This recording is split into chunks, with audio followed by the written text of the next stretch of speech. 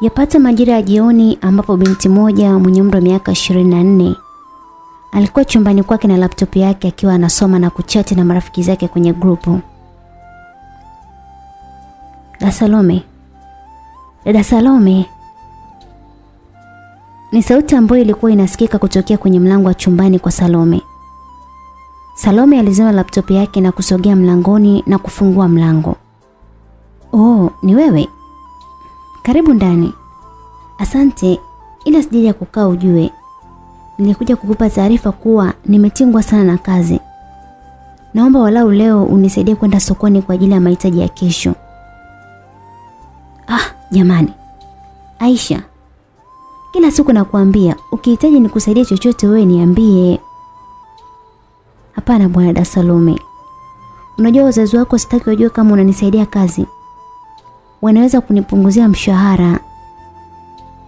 Ah, usijali Aisha. Haya. Nipe basi hiyo listi ya mahitaji yote niende huko sokoni. Aisha alimkabidhi karatasi ambayo imeorodheshwa mahitaji yote Salome akamwambia Aisha. Sawa, nakwenda. Na naenda na narudi haraka sana kabla ya mama na baba hawajarudi. Basi na wewe malizia kazi zako. Nataka leo tuendelee na darasa letu la kutumia simu. Sawa Aisha? Sawa dada Salome. Wote walitoka chumbani kwa Salome. Aisha alielekea jikoni na Salome alielekea sebleni. Akafungua drawer kisha akachukua funguo ya gari na kutoka nje ya nyumba yao akiwa na pochi yake.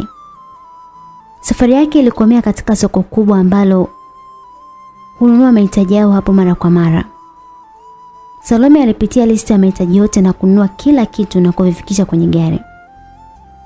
Lakini alivyopitia kwa haraka listi hiyo aligundua kuwa hakukuwa na nazi wala matunda pia.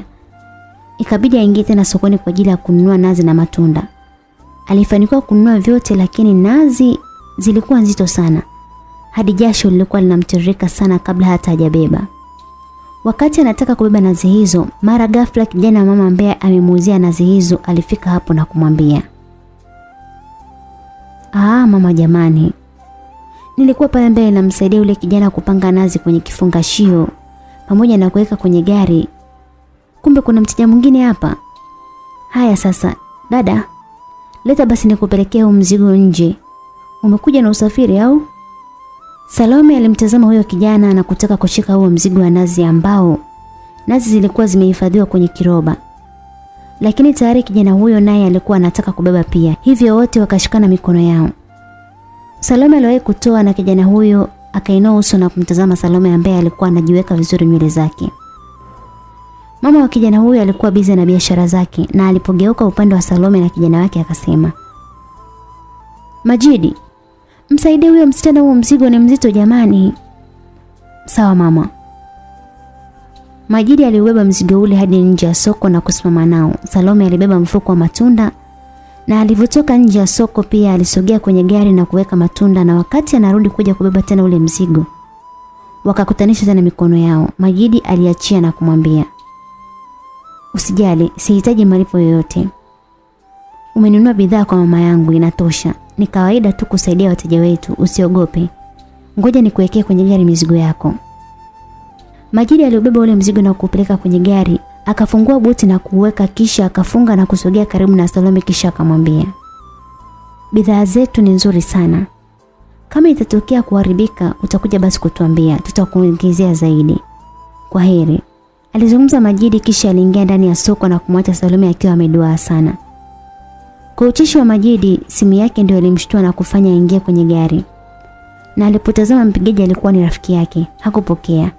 Aliamua kuwasha gari na kuondoka zake. Alifika nyumbani kwa salama na kushuka kwenye gari. Mlinzi wao alimsaidia Salome kuingiza vitu store. Kisha Salome alifika sebleni na kukaa kwenye sofa na Aisha alimletea maji na kumwambia, "Pole sana da Salome, najua umechoka sana na mzunguko wa sokoni." ila sitarudia tena kukuagiza sokoni. Nisamehe sana.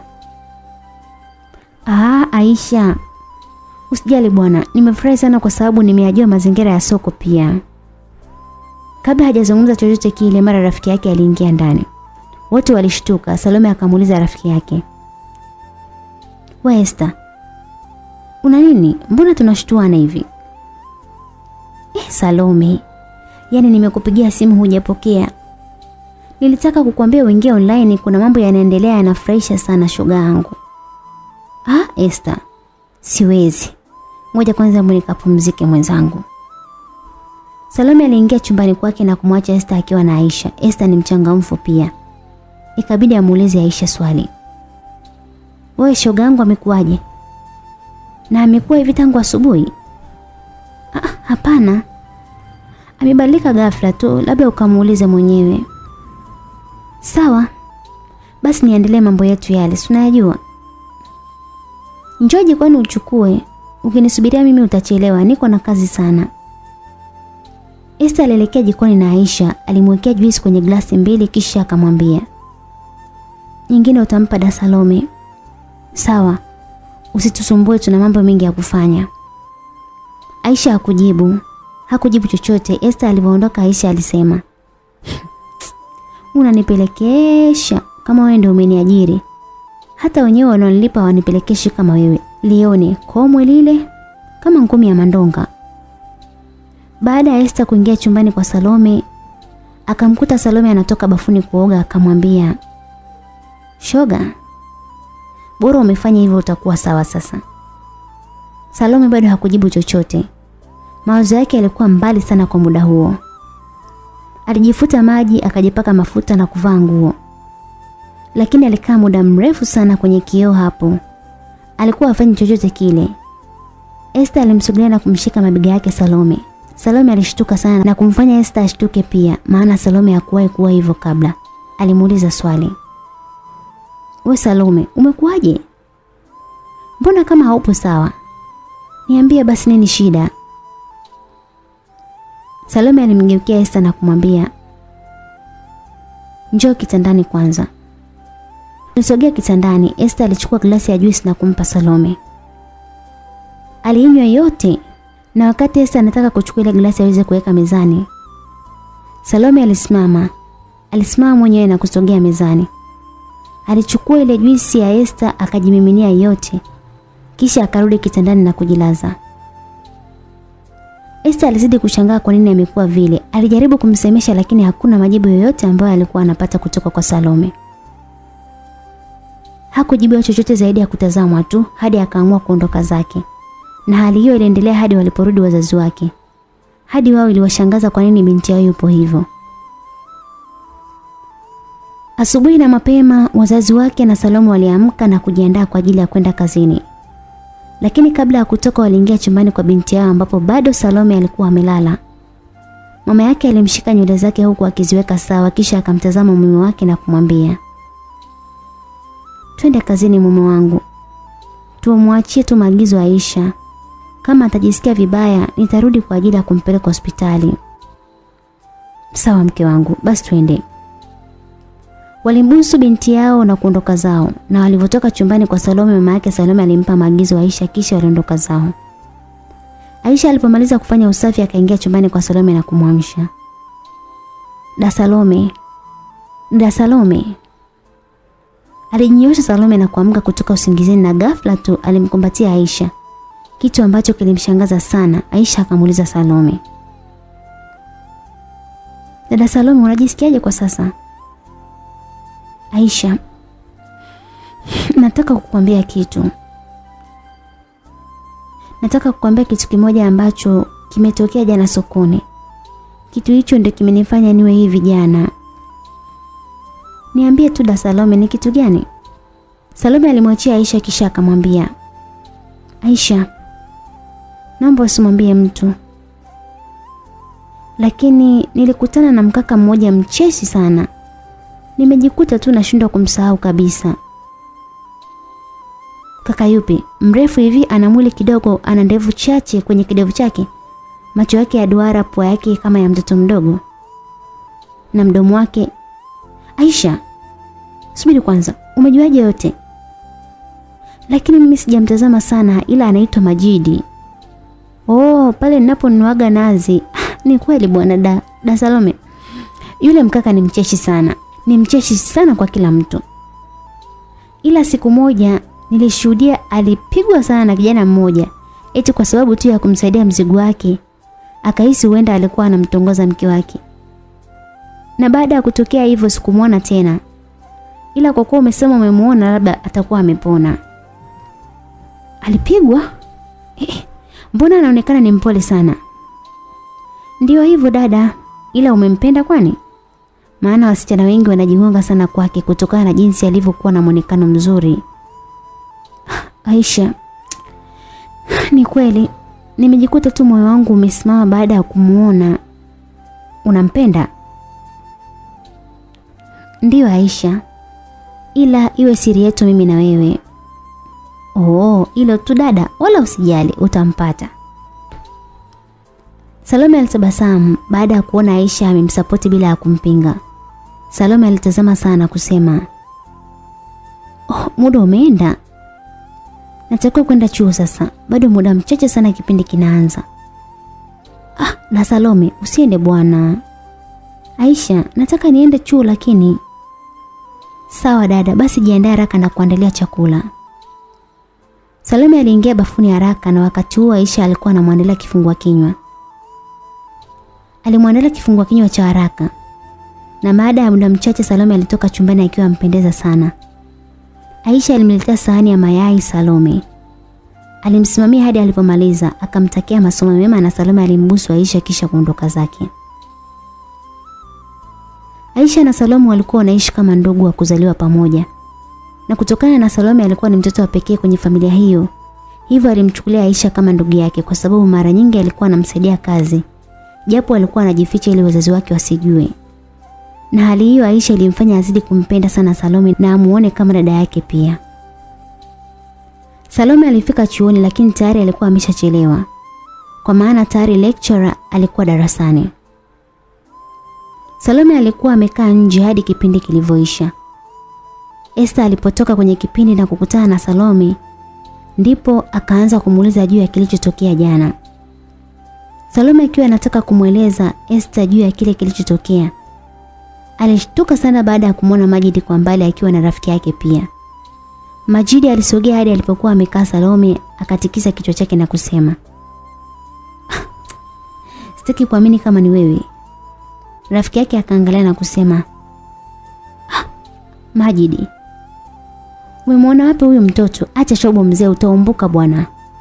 Unaona mtoto mwenyewe mboga saba, umwezi bwana huyo. Punguza shobo rafiki yangu. Majidi alishikwa mkono na kuondolewa pale na rafiki yake, lakini wakati huo Salome naye alikuwa amesimama kunyoosha mkono wake kwa ajili ya kutaka kupokea mkono wa Majidi, lakini tayari alikuwa ameshafika mbali. Esther alikuwa anamtazama Salome amekuwaje vile. Ikabidi amkalishe chini na kuzungumza. Salome. Umekuwaje lakini shogangu?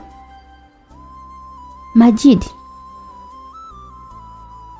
Yaani wewe unajisaulisha kabisa kuwa Majidi ni nani?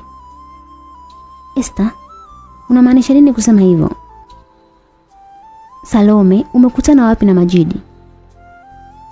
Nimekutana naye sokoni jana. Nilielekea sokoni kwa ajili ya kumsaidia Aisha. Nikakutana naye. Majidi ni mchechi sana. Nashindwa kujizuia ninapomuona.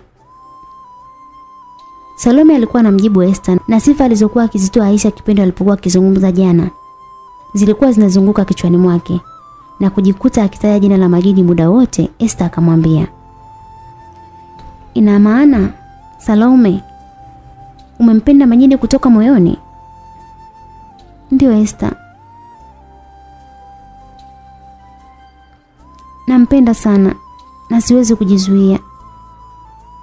Esther alimtazama tu rafiki yake na kumwambia, "Kama unampenda sawa, lakini nataka tu nikuambie kuwa kama utakuwa na mahusiano na ule kijana au kale kajamaa, basi urafiki wetu utaisha." Esther, unamaanisha nini kusema hivyo? mahusiano na urafiki kuvunjika sawa vyovyote lakini siwezi kumwacha Majidi aende kwa mwanamke mwingine. Esther alichukia sana maneno ya Salome na kuamua kuondoka zake. Salome hakumfuatilia Esther bali alisimama na kuelekea kule ambapo walikuwa wameelekea Majidi na rafiki yake. Na alipofika tu alimkuta Majidi akiwa amekaa mwenyewe tena akiwa na mawazo sana. Salome alimsogelea karibu na kumuita Majidi Majidi alimtazama Salome kisha akatabasamu na kusema, ni yule msichana si ndio? Ni wewe? Salome aliitika kwa kutikisa kichwa chake tu. Ndipo Majidi naye alijikuta tu anasukumwa na hisia zake na kumkumbatia kwa nguvu sana. Salome alijisikia faraja sana huku kijasho chembamba kikimtiririka kwenye mstari wa ikweta katika nyunga yake. Maana hakuwahi kupata ujasiri kabisa wa kufanya hivyo hata siku moja. Majidi akajitoa kwenye kumbato hilo na kumshika mabega yake na kumwambia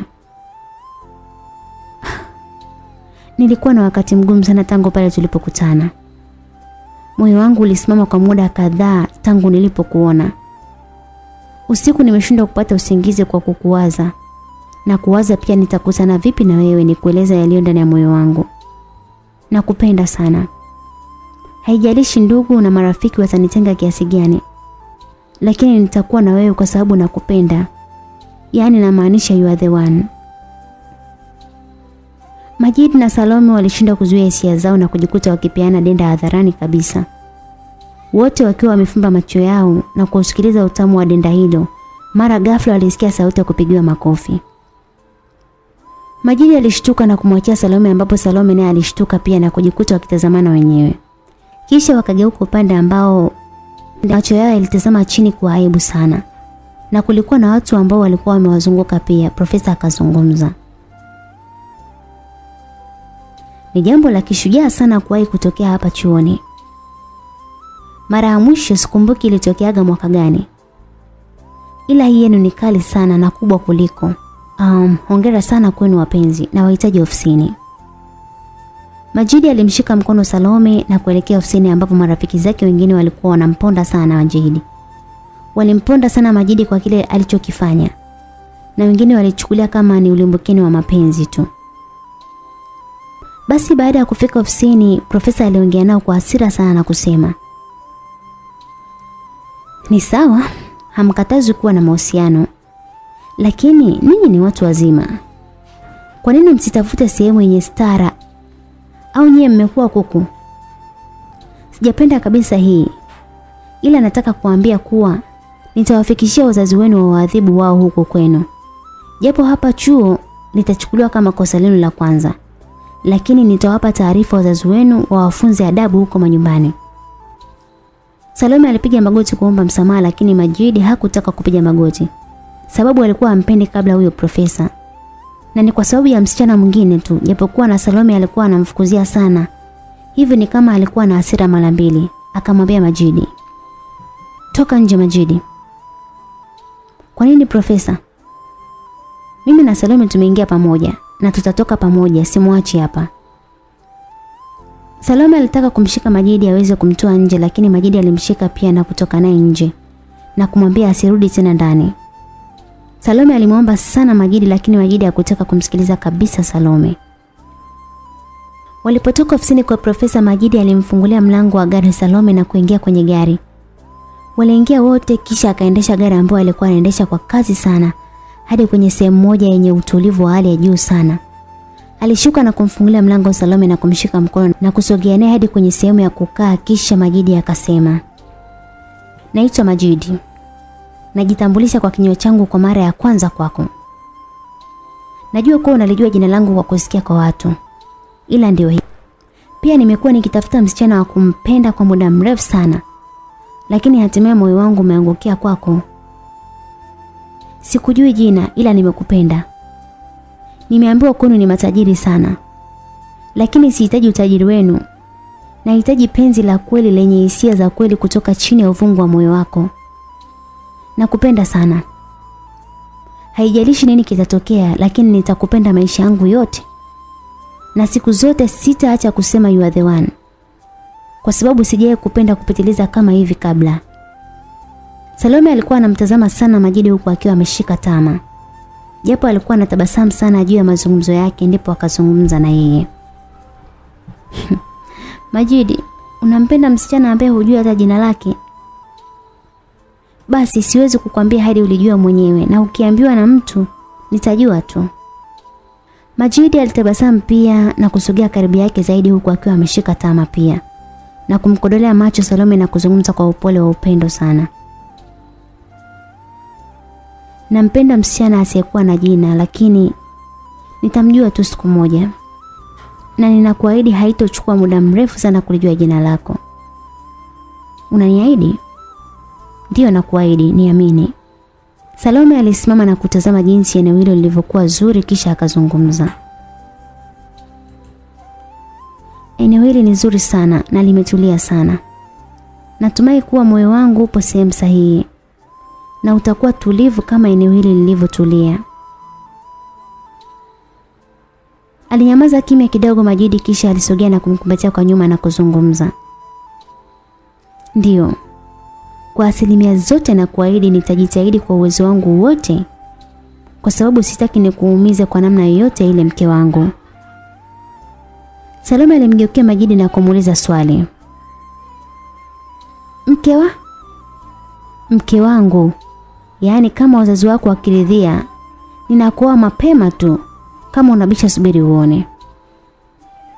Ilikuwa ni siku ya kwanza ngumu kwao. Lakini ilikuwa nyepesi baada ya kupata muda wa kuzungumza zaidi. Ni siku ya kwanza kutongozana na ni siku hiyo ya kwanza wameweza hata kukisi.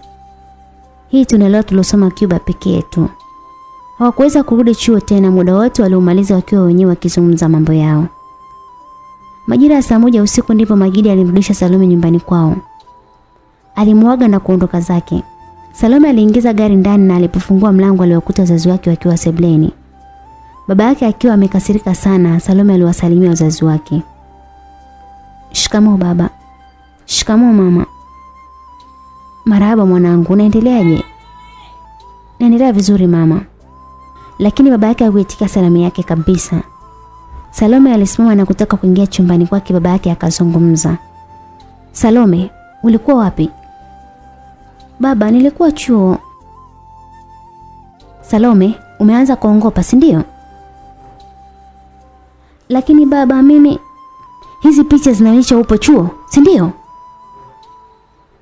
Salome alisogea karibu na simu ya baba yake na alipotaka kuigusa alipokea kofi moja zito ambalo lilimfanya atue chini kama mzigo. Na mama yake akaingilia kati kabisa na kusema, Mume wangu baba Salome, unafanya nini sasa? Ni jambo tu la kuzungumza lakini tazama unachomfanyia mtoto mimi sijapenda bwana. Sijapenda kabisa hii tabia. Mama Salome alimchukua binti yake na kuingia naye ndani. Wakati huo Salome alikuwa analia kwa maumivu makali sana. Mama yake alimbembeleza sana hadi alitulia kisha Salome akamuuliza mama yake. Mama, baba amechukia sana. Ataniruhusu kwenda chuo tena? Salome binti yangu. Lakini pia mimi nimepigiwa simu kuwa hauruhusi kwenda chuo kwa sababu mna adhabu wewe na huyu kijana. Kwani huyu kijana ni nani mwanangu? Mama, sijakwambia hili, najua. Lakini huyu ni rafiki yangu tu mama. Kweli mwambie baba nataka kusoma. Nitajaribu kumshawishi lakini kama ni rafiki yako, mbona kuna video ambayo inatembea kuwa mlikuwa mnakula mlikuwa mnakisiana hivi? Naweza kusema mlikuwa mnakula denda. Hivi ni sahihi? Unajua baba yako umemdhalilisha kiasi gani? Mama, lakini Salome, sitaki uongee chochote. Hebu ona hii. Hebu ona hii sehemu imeanza kuvimba. Aisha, hebu niletee barafu tafadhali. Salome alikuwa anatokwa na machozi, hajui nini afanye. Maana mambo kwa upande wake alikuwa ameshakuwa mengi sana kwa siku ya kwanza tu katika mahusiano yao. Aisha alileta barafu. Wakati mamake Salome anataka kupokea barafu hiyo, baba yake Salome alimuita mke wake. Hivyo Aisha alibaki peke yake na Salome naye kwenda kumsikiliza mume wake. Da Salome. Da Salome. Nasikia kuna video zimevuja zikionyesha wewe na wewe kijana mkiwa mnabusiana. Ni kweli? Salome alichukua laptop yake na kuwasha na kuikuta hiyo video kwenye group la discussion. Video hiyo ilikuwa imezagaa sana. Aisha naye alipoiona akazungumza. Dada Salome, hii video ni mbaya tu kwenye macho ya watu. Lakini inaonekana kabisa wazi kuwa una hisia za karibu na Majidi. Aisha niko Kabla Salome hajaongea chochote simu yake ilianza kuita, alipokea na kuzungumza. Halo, nani? Salome, Majidi hapa, nipo nje. Salome alifungua dirisha na kumwona Majidi akiwa nje kwenye pikipiki. Alimpungia mkono kisha akazungumza. Majidi, kapumzike sasa maana sijisikii vizuri kwa kilichotokea siku ya leo. Ah, kwa nini mpenzi wangu? Hutaki kujua nimejuaje jina lako? Usiku mwema Majidi bwana. Salome alikata simu na kuizima kabisa. Aisha alipochungia dirishani akamwona Majidi na huyo Majidi akawa hana hata mpango wa kuondoka kabisa. Aisha akabidi amwambie Salome. Dada Salome, Majidi bado anasubiri pale nje ujue. Salome aliwasha simu na kumwandikia ujumbe Majidi. Kisha ujumbe ulivyoingia kwenye simu yake akausoma na alivyotazama kule juu tena. Tayari dirisha lilishafungwa na Majidi akazungumza. Sijui Salome atakuwa katika hali gani. Na mama yangu anahangaika kufanya kila biashara niweze kutimiza ndoto zangu. Lakini leo nimemkwaza sana. Kama akisikia juu ya hiki ataumia sana kwa ajili yangu. Majidi aliwasha pikipiki na kuondoka zake. Aisha naye alianza kusinzia Salome akamruhusu akalale. Aisha alitamani kubaki na Salome lakini Salome alimlazimisha tu akalale. Salome alikuwa akitazama hiyo video mara kwa mara na alijihisi kupandwa na hisia zaidi alipokuwa akitazama hiyo video kisha akazungumza. Haijalishi nini kitatokea. Majidi, nitakuwa na wewe. Chochote nitakachopitia sitoacha kukupenda milele. Salome aliweka ile barafu sakafuni na, na kuikumbatia laptop yake ambayo ilikuwa na ile video ikiwa inajiplay kile yanapoisha. Kwa kuwa Salome hakuweza kabisa kupata usingizi kwa usiku mzima sababu ya mawazo. Aliamka mapema sana. Alishuka kitandani akapiga hatua ya kwanza na alipotaka kupiga hatua ya pili, aliteleza vibaya sana na kuanguka sakafuni huku akipiga yowe la maumivu. Yowe hilo liliwashtua wote na kuwafanya watoke vyumbani mwao kwa haraka sana na kuingia chumbani kwa Salome. Salome alikuwa chini huku akiugulia goti lake ambalo lilikuwa linatoka damu kwa wingi. Baba yake alimbeba na kumpeleka kwenye gari haraka sana na kumwaisha hospitali. Wakati huo mama yake Salome na Aisha walikuwa wanafata kwa nyuma tu. Baba yake Salome alikuwa anampenda sana binti yake hata kama akiwa amemkosea usiku, basi asubuhi lazima amsamehe. Na wakati huo wakati Salome anataka kwenda bafuni, baba yake na mama yake walikuwa tayari wameshajiandaa na walikuwa wanataka kwenda kumwona mtoto wao lakini mambo yalibadilika ghafla. Salome alipotoa huduma ya kwanza kwa haraka sana na kisha daktari akatoa jibu kuwa kama sehemu aliyoteleza kungekuwa na maji mengi angeweza hata kuvunja mguu. Ila kwa kuwa alikuwa kidogo sakafuni, mguu wake umeshtuka tu kidogo. Ila hatakiwi kuusimamisha mara kwa mara kwa tahadhari ya usalama wake zaidi. Baada ya majibu hayo ya daktari, baba yake Salome alifika hodini ambapo alikuwa amelala binti yake na kumwambia Pole sana mwanangu. Pole sana kwa kila kitu. Najua jana nimekuumiza lakini leo umeumia tena. Najua yote haya ni kwa sababu yangu lakini nisamehe sana. Aligeuka Salome kwa baba yake na kuzungumza. Usihuzunike baba na wala usiseme kwa sababu yako. Ni kwa sababu yangu mwenyewe. Hii ni kama adhabu ya kuwatia aibu wazazi wangu. Nisamehe sana baba. Baba Salome alimkumbatia binti yake huyo ambaye hakutamani kumpiga hata siku moja ila ni hasira tu ambazo zilimfanya akampiga tena kwa mara ya kwanza. Kwa upande wa Majidi akiwa nyumbani kwao anagaa na mama yake. Mama yake alipigiwa simu na simu hiyo aliyopokea alikuwa ni Majidi. Na aliposikia taarifa zile kuhusu video Majidi alikata simu na kumwambia mama yake. Mama, watu wa mtandao wanataka nibonyeze nane uweze kupata nyimbo za kuitia kwenye simu. Kwa heri mama, nitakukuta mara baada ya kutoka chuo. Sawa mwanangu. Usome vizuri kijana wangu. Asante sana mama, kazi njema pia. Mama yake na Majidi aliondoka na kumwacha Majidi mwenyewe. Majidi alikaa kwenye kiti na kushusha pumzi ndefu sana na kisha kushushia na maji kisha akachukua simu yake na kumpigia Salome. Na wakati huo simu ilikuwa mikononi mwa Aisha. Mama yake Salome pia alikuwa ndani wakizungumza na mtoto wao. Hivyo Aisha alipokea simu. Halo, wewe nani? Ah, Majidi hapa. Mwenye simu yuko wapi? We mjinga. Umesababisha matatizo makubwa sana kwa dada Salome. Jana alipigwa na baba yake na leo ameanguka na kuumiza mguu wake kwa sababu yako.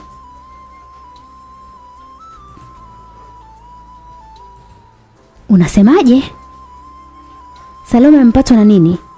Niambie upo wapi muda huu? Tupo hapa hospitali. Aisha alimjibu hivyo Majidi na kukata simu. Majidi alimpigia tena lakini hakupokea. Majidi moja kwa moja alielekea hadi kwenye hospitali kubwa maarufu ambayo inajulikana ni special kwa ajili ya matajiri na watoto wa kitajiri. Maana alihisi tu lazima Salome atakuwa hapo. Lakini katika hospitali hiyo kama ukiwa huna kitambulisho cha aina yoyote ambacho kinaonyesha taarifa yoyote au ndugu na familia yoyote basi huruhusiwi kuingia. Hivyo Majidi alishikiliwa pale mapokezi na maaskari. Aliamua kumpigia simu tena lakini Aisha hakupokea simu.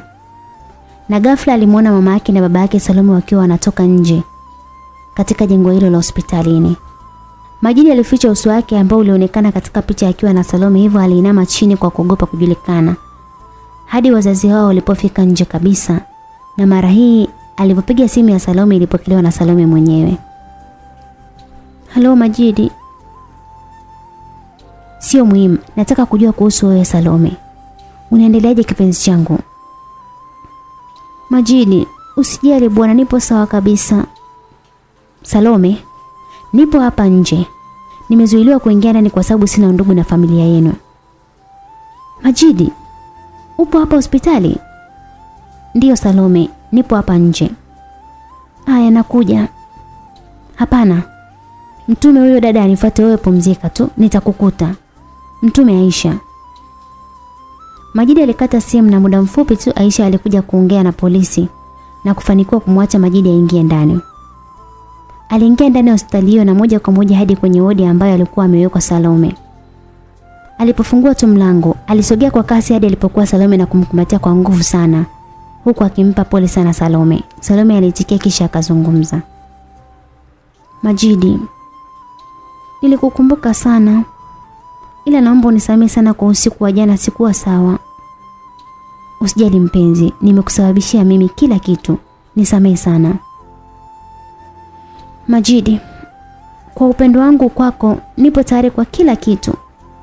Na nipo tayari kupitia nyakati zozote zile na wewe. Ila tu niwe karibu yako kwa sababu nakupenda sana. Majidi alimtazama Salome kidogo huku akifuta machozi yake kisha akazungumza. Mimi pia sijaongea na mama na mpaka sasa hajui kinachoendelea. Ni wazi kuwa hajapata taarifa yoyote kuhusu mimi na ninaamini akisikia ataumia sana. Lakini nitasimama upande wako siku zote Salome kwa sababu pia nakupenda sana. Salome alimwegemea Majidi kifuani huku machozi ya furaha yakimtiririka. Ghafla Aisha aliingia udini na kuzungumza. Dada Salome, daktari anakuja. Sawa, Majidi. Basi tutaongea baadaye natakiwa kupumzika. Sawa mke wangu, upone haraka. Sawa, nakupenda sana. Majidi alimwaga mpenzi wake na alimpiga busu na aliamua kuondoka zake. Wakati huo Salome alizidi kuwa na furaha sana katika mahusiano ambayo alikuwa anapitia. Upande wa kazini kwa baba yake na Salome karibia wafanyakazi wake wote walikuwa wanajadili kuhusu hivyo. Walikuwa wakijadili kuhusu ile video na baba yake Salome alivyoingia tu ofisini. Wafanyakazi wote walisimama na kumsalimia bosi wao. Baba Salome akazungumza. Sikufikiria kama mngeacha kufanya kazi zenu na kujadili kuhusu hiyo video ya kipumbavu. Mwanangu hawezi kufanya hivyo. Na hata kama akiwa amefanya hivyo, hakuna ambaye ajepitia hali hiyo. Nyie wote katika hatua ya ukuaji wenu mmepitia na tena wengi wenu mmepitia hatua mbaya sana kuliko hata binti yangu. Lakini bado mnazungumza ujinga na hamjui kuwa hata nyie mna watoto. Mnapenda tu kuzungumza upuuzi. Sasa basi. Nataka kazi zifanyike. Ole wake mtu yoyote humu ndani nisikia anaongea kuhusu binti yangu tena. Mimi naingia ofisini. Mzee huyo alizungumza kwa hasira sana akiwa anamsifia sana binti yake. Alimsifia kwa kile alichokifanya lakini mara baada ya yeye kuingia tu ofisini kwake kuna mbaba mwingine wa makamu aliweza kuingia. Wafanyakazi wote walitoa heshima kwa mzee huyo na mzee huyo aliingia ofisini moja kwa moja na, kumkuta baba Salome anazunguka mule ofisini. Mr. Ahmed, vipi kuna tatizo? Ah, Mr. James. Kwa nini unapenda kunifuatilia sana eh? Shida yako nini kwangu? Ah, Mr. Ahmed, usijisahaulishe. Usijisahaulishe kabisa kuhusu binti yako. Dunia nzima wanajua kuhusu ujinga wa binti yako. Kwa hiyo naomba usijisahaulishe, sawa? Ah. Kwa hiyo ulikuwa unasemaje sasa? Unaumia? Unaumia na kipi kama dunia nzima ikijua na au isipojua? Wewe kinachokuwasha ni nini? Najua una hasira sana Mr. Ahmed. Ila nilitaka kutoa pole kwa familia yako. Pia nilitaka kukupa ofa kama kusafisha jina lako. Kwa sababu unajua nina mtoto wa kiume ambaye ana uwezo mkubwa wa kufuta skendo ya binti yako na kurekebisha sifa yake. Na kama utaona bado na kukashifu, basi wacha nikuache ila ukihitaji ofa yangu nipo nitakupatia. Kwa sababu mimi na wewe hatujagombana na wala hatuwezi kugombana Mr. Ahmed. Mr. James alizungumza hivyo na kuondoka zake huku akimwacha Mr. Ahmed akifikiria ni ofa gani ambayo anataka kumpa na ni vipi anaweza kumrudishia sifa zake kama zamani. Ahmed alitoka ofisini kwake haraka hadi nje ya kampuni ile, lakini alikuta tayari Mr. James ameshaondoka zake. Naye alipanda kwenye gari huku akimpigia simu Mr. James aweze kusimama na aweze kuzungumza tena. Mr. James alitabasamu sana mara baada ya kuona simu ya Mr. Ahmed. Kisha akapaki gari kando na kupokea simu. Halo, Mr. Ahmed. Naona umefikiria kwa muda mfupi sana kuhusu ofa yangu. Ndiyo. Nataka tuzungumze kuhusu hili Mr. James tafadhali. Sawa? Simama hapa kwenye hiyo hoteli unayoiona basi. Ahmed alikata simu na kushuka kwenye gari ambapo na Mr. James pia alishuka kwenye gari na kuingia pamoja kwenye hoteli hiyo. Kisha kukaa kwenye viti huku akiagiza kila mtu chakula chake na Mr. Ahmed akaanzisha mazungumzo. Ah, uh, Mr. James, nataka kujua ni ofa gani unayotaka kunipa na kuweza kusafisha jina langu. Mtoto wangu, namaanisha kijana wangu, anarudi kutoka nje ya nchi hivi karibuni. Ameshamaliza masomo yake na anakuja hapa kuanza maisha yake mapya. Na aliniambia kuwa nimtafutie mke. Hivyo kama utahitaji binti yako awe, mkwe wangu na kila kitu atakishughulikia yeye mwenyewe kusafisha jina lako. Hmm. Mr. James, nilijua umetimia, umetimia kiakili. Kumbe wewe ni mjinga sana hivyo. Yaani nimtoe binti yangu amuoe kijana wako. Hapana.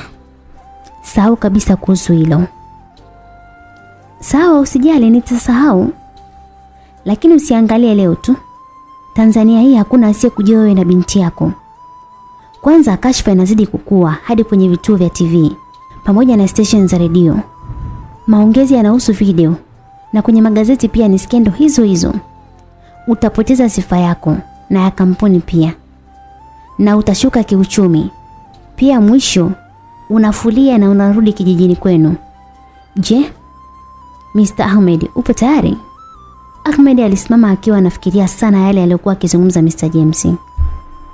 Baada ya Mr. Ahmed kufikiria kwa kina, wakati Mr. James naye akigida juisi yake kwenye glasi, Mr. Ahmed aliinama na kushika meza huku macho yake yakimtazama Mr. James kisha akazungumza. Mr. James, nimekuelewa ulichokisema ila naomba unipe muda wa kufikiria hili zaidi kwa sababu nahofia sana. Ila jioni ya leo nitakupigia na kukupa mwafaka wa hili. Sawa Mr. Ahmed. Acha inyeshe mvua tuone panapovuja.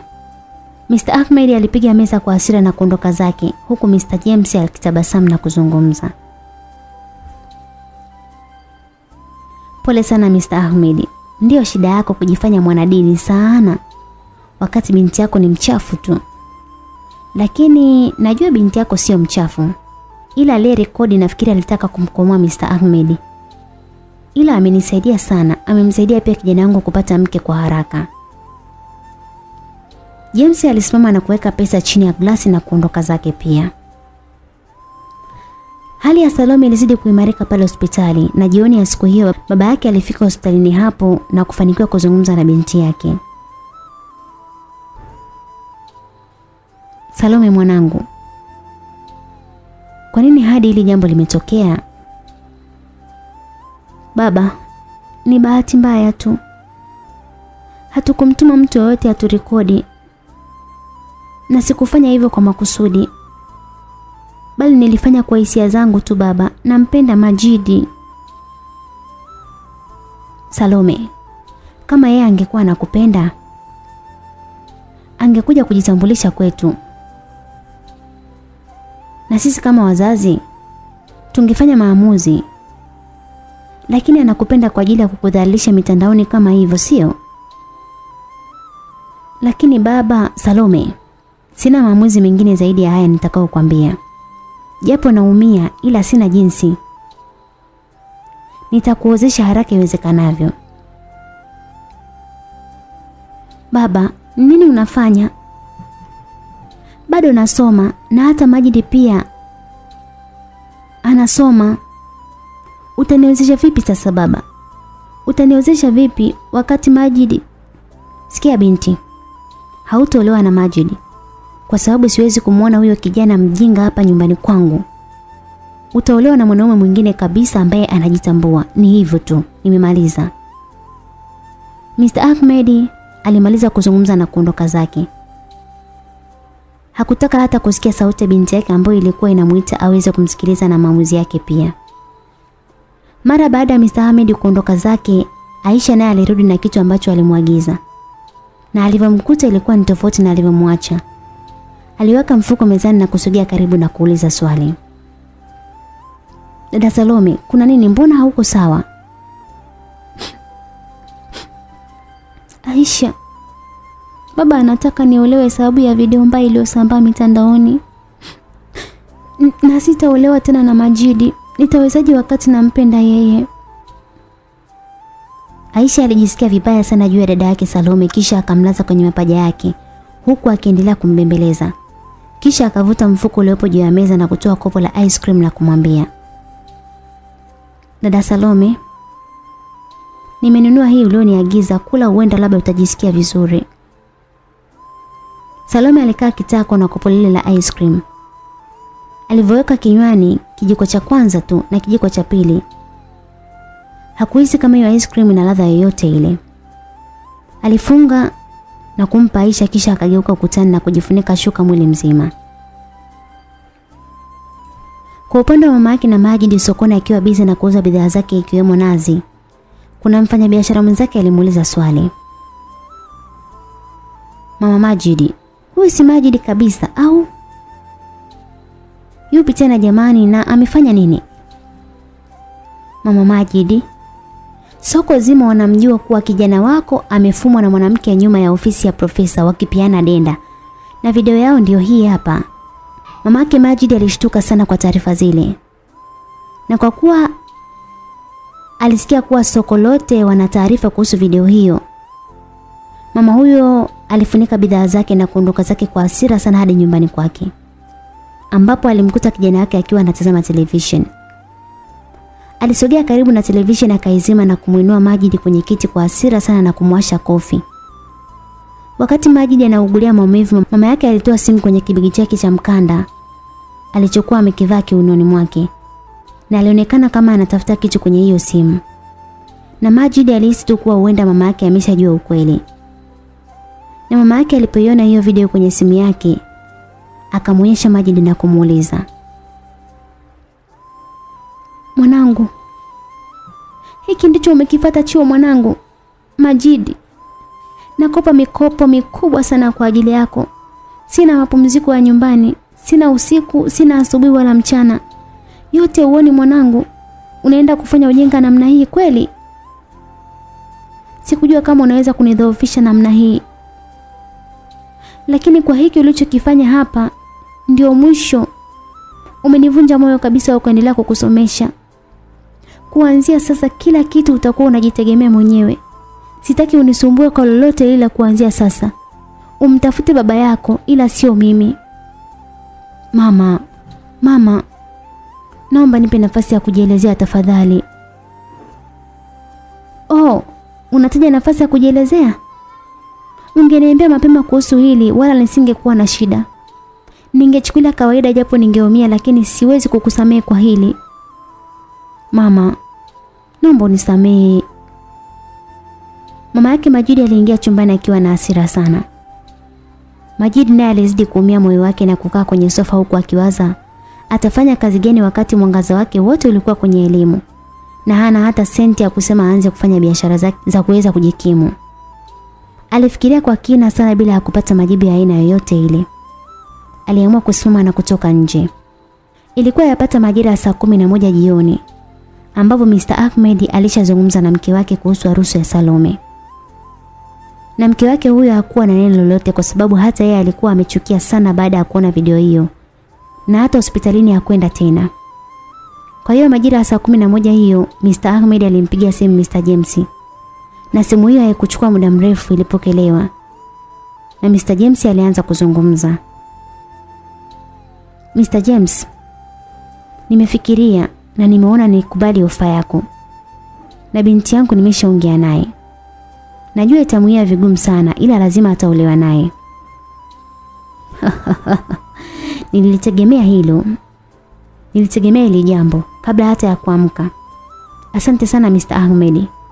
Na muda mfupi tu taarifa zitakuwa zimebadilika. Babake Salome alikata simu na kurudi ndani wakisubiri taarifa mpya.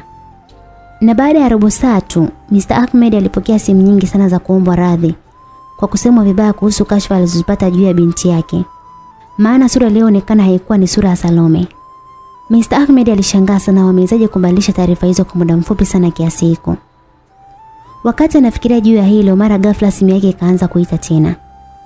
Na mpigaji mara hii alikuwa ni Salome. Mr. Ahmed hakupokea sababu alishajua kuwa lazima Salome atakuwa ameiona video mpya. Hivyo lazima atataka kuipinga video hiyo. Kwa upande wa Majidi alifika hospitalini na moja kwa moja hadi wodini ambapo alikutana na Salome na kutaka kuzungumza naye. Kabla hata Majidi hajazungumza chochote, Salome alimkumbatia Majidi na kumwambia, "Hatimaye umekuja. Nilikuwa nakuwaza sana Majidi wangu. Karibu sana."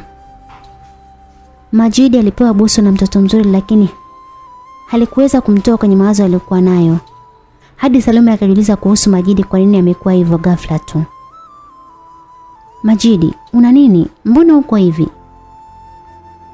Alitamani kuzungumza Majidi lakini hakuwa na usimi zaidi ya kuumia tu moyoni mwake.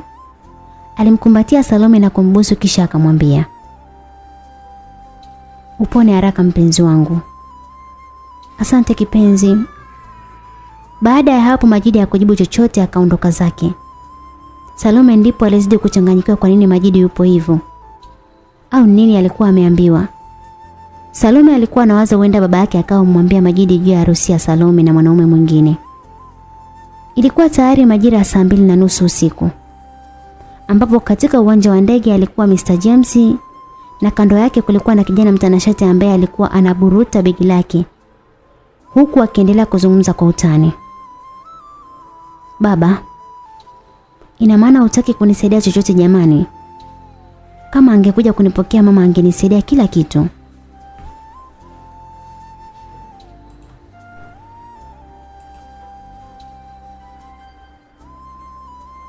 Kijana, lakini mimi ni baba. Siwezi kubeba mizigo yako na wewe utembee kama bosi tu. Sawa baba. Vipi lakini mazingira yapo vizuri? Ndiyo, kila kitu kipo sawa kabisa. Huko salama kabisa. Ila nilifurahi sana kuhusu ulichokisema. Japo nimetumia akili nyingi sana kuitengeneza ile video. Yaani itakuja kugundulika baadaye sana, sio leo wala kesho. na kukubali sana kijana wangu. Umekuwa mtundu sana wa mitandao tangu ukiwa mdogo sana. Haya, ingia kwenye gari tuende tukaenjoy. Na kukubali sana kijana. Umekuwa mtundo wa mitandao tangu ukiwa mdogo sana. Haya, ingia kwenye gari twende tukaenjoy. Waliingia kwenye gari na kuondoka zao hadi nyumbani kwao. Walipofika mama yake kijana huyu alimkumbatia kwa nguvu sana kijana wake na kutaka kumbeba. Lakini kijana wake akamwambia mama yake, "Mama, usijichoshe bwana kwa sasa uweze kunibeba tena. Uweze kunibeba kwa sababu nimeshakuwa kijana mkubwa tofauti na nilivyokuwa mwanzo. Tafadhali mama tuingie ndani." Waliingia ndani huku wakiwa na furaha sana. Walipata chakula kwa furaha sana. Kisha waliongea mambo mengi sana kisha waliingia kulala. Wakati kijana huyu akiwa chumbani kwake alikuwa bize na laptop yake. Na kwenye laptop hiyo alikuwa na picha za Salome nyingi sana. Hivyo alikuwa anatumia muda mwingi sana kuzitazama hadi pale alipopitiwa na usingizi. Huku Salome akizungumza na Aisha. Nadhani mama amechukia sana kuhusu hili jambo. Lakini si sura usike imeshaonyeshwa. Kwa nini wasishtuke tu wazazi wangu au tatizo ni nini kwao? Dada Salome, unajua kuwa wazazi wanapata maumivu ya milele. Kwa sababu tayari imeshakuwa skendo hata kama imebadilika, lakini wameumia. Wameumizwa na maneno ya watu. Kwa sababu ndio imeonekana sura, lakini maneno yameshaongelewa na uwezi kujua wamepitia changamoto kubwa kiasi gani kuyakabili maneno hao mabaya kwao. Kwa sababu hayawezi kubadilika, tayari ameshafika mioyoni mwao. Kuwa na subra, kila kitu kitakuwa sawa. Sawa. Nimekuelewa Aisha. Waliingia kwenye gari na kuondoka zao hadi nyumbani kwao. Walipofika Aisha alimsaidia Salome kumwingiza ndani ambapo alikutana na mama yake mlangoni. Akampokea vizuri hadi ndani. Salome alijisikia faraja sana akamtazama Aisha. Aisha akamkonyeza kisha wakatabasamu pamoja. Salome. Dada Salome. Nikuandalie chakula gani muda huu? Ah, Aisha. Pumzika tu binti yangu, nimeshaandaa chakula kwa ajili yenu. Nenda tu kaoge kisha uje kula. Sawa mama? Sawa mama. Aisha aliingia chumbani kwake na kuacha wenyewe kama familia.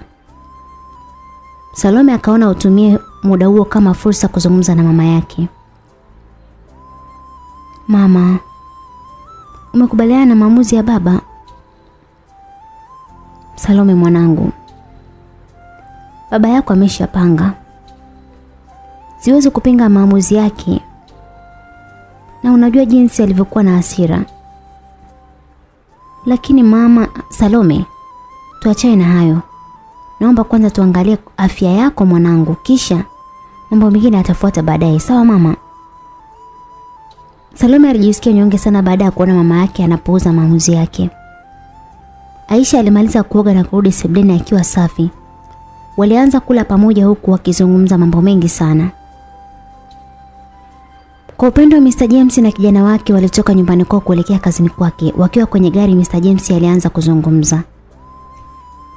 Mwanangu, nitakukutanisha na baba yako mkwe. Ila uwe na heshima. Mheshimu kama unavyoniheshimu mimi na mama yako. Baba, usijali. Unajua ni jinsi gani siwezi kabisa kukuangusha baba. Sawa sawa kijana. Walifika ofisini na kufanya kazi. Mr. James alimpigia simu Mr. Ahmed na kumwomba kukutana naye muda wa breki. Ahmed hakuwa msumbufu tena. Alikubali na kukata simu na kuendelea na kazi zake. Kwa upande wa chuo sasa, rafiki yake Salome na rafiki yake Majid walikutana na kuanza kuulizana juu ya Salome na Majid. Oya, we vipi? Hivi umunana na Salome siku hizi mbili? Ah, hapana. Sijaenda kwao na wala sijampigia simu wala yeye hajanipigia pia. Hata mimi pia. Majid hajanitafuta kabisa ila ngoja nimcheki hapa. Alichukua simu yake na kutafuta namba ya Majid na kuipiga. Wakati huo Majid alikuwa amekaa. Alikuwa mwenyewe kwenye jengo kubwa ambalo lilikuwa linafanyiwa matengenezo. Ambapo hapo alikuwa amekaa alikuwa anasubiri akutane na mkuu ili aweze kuzungumza naye aweze kumpa kazi.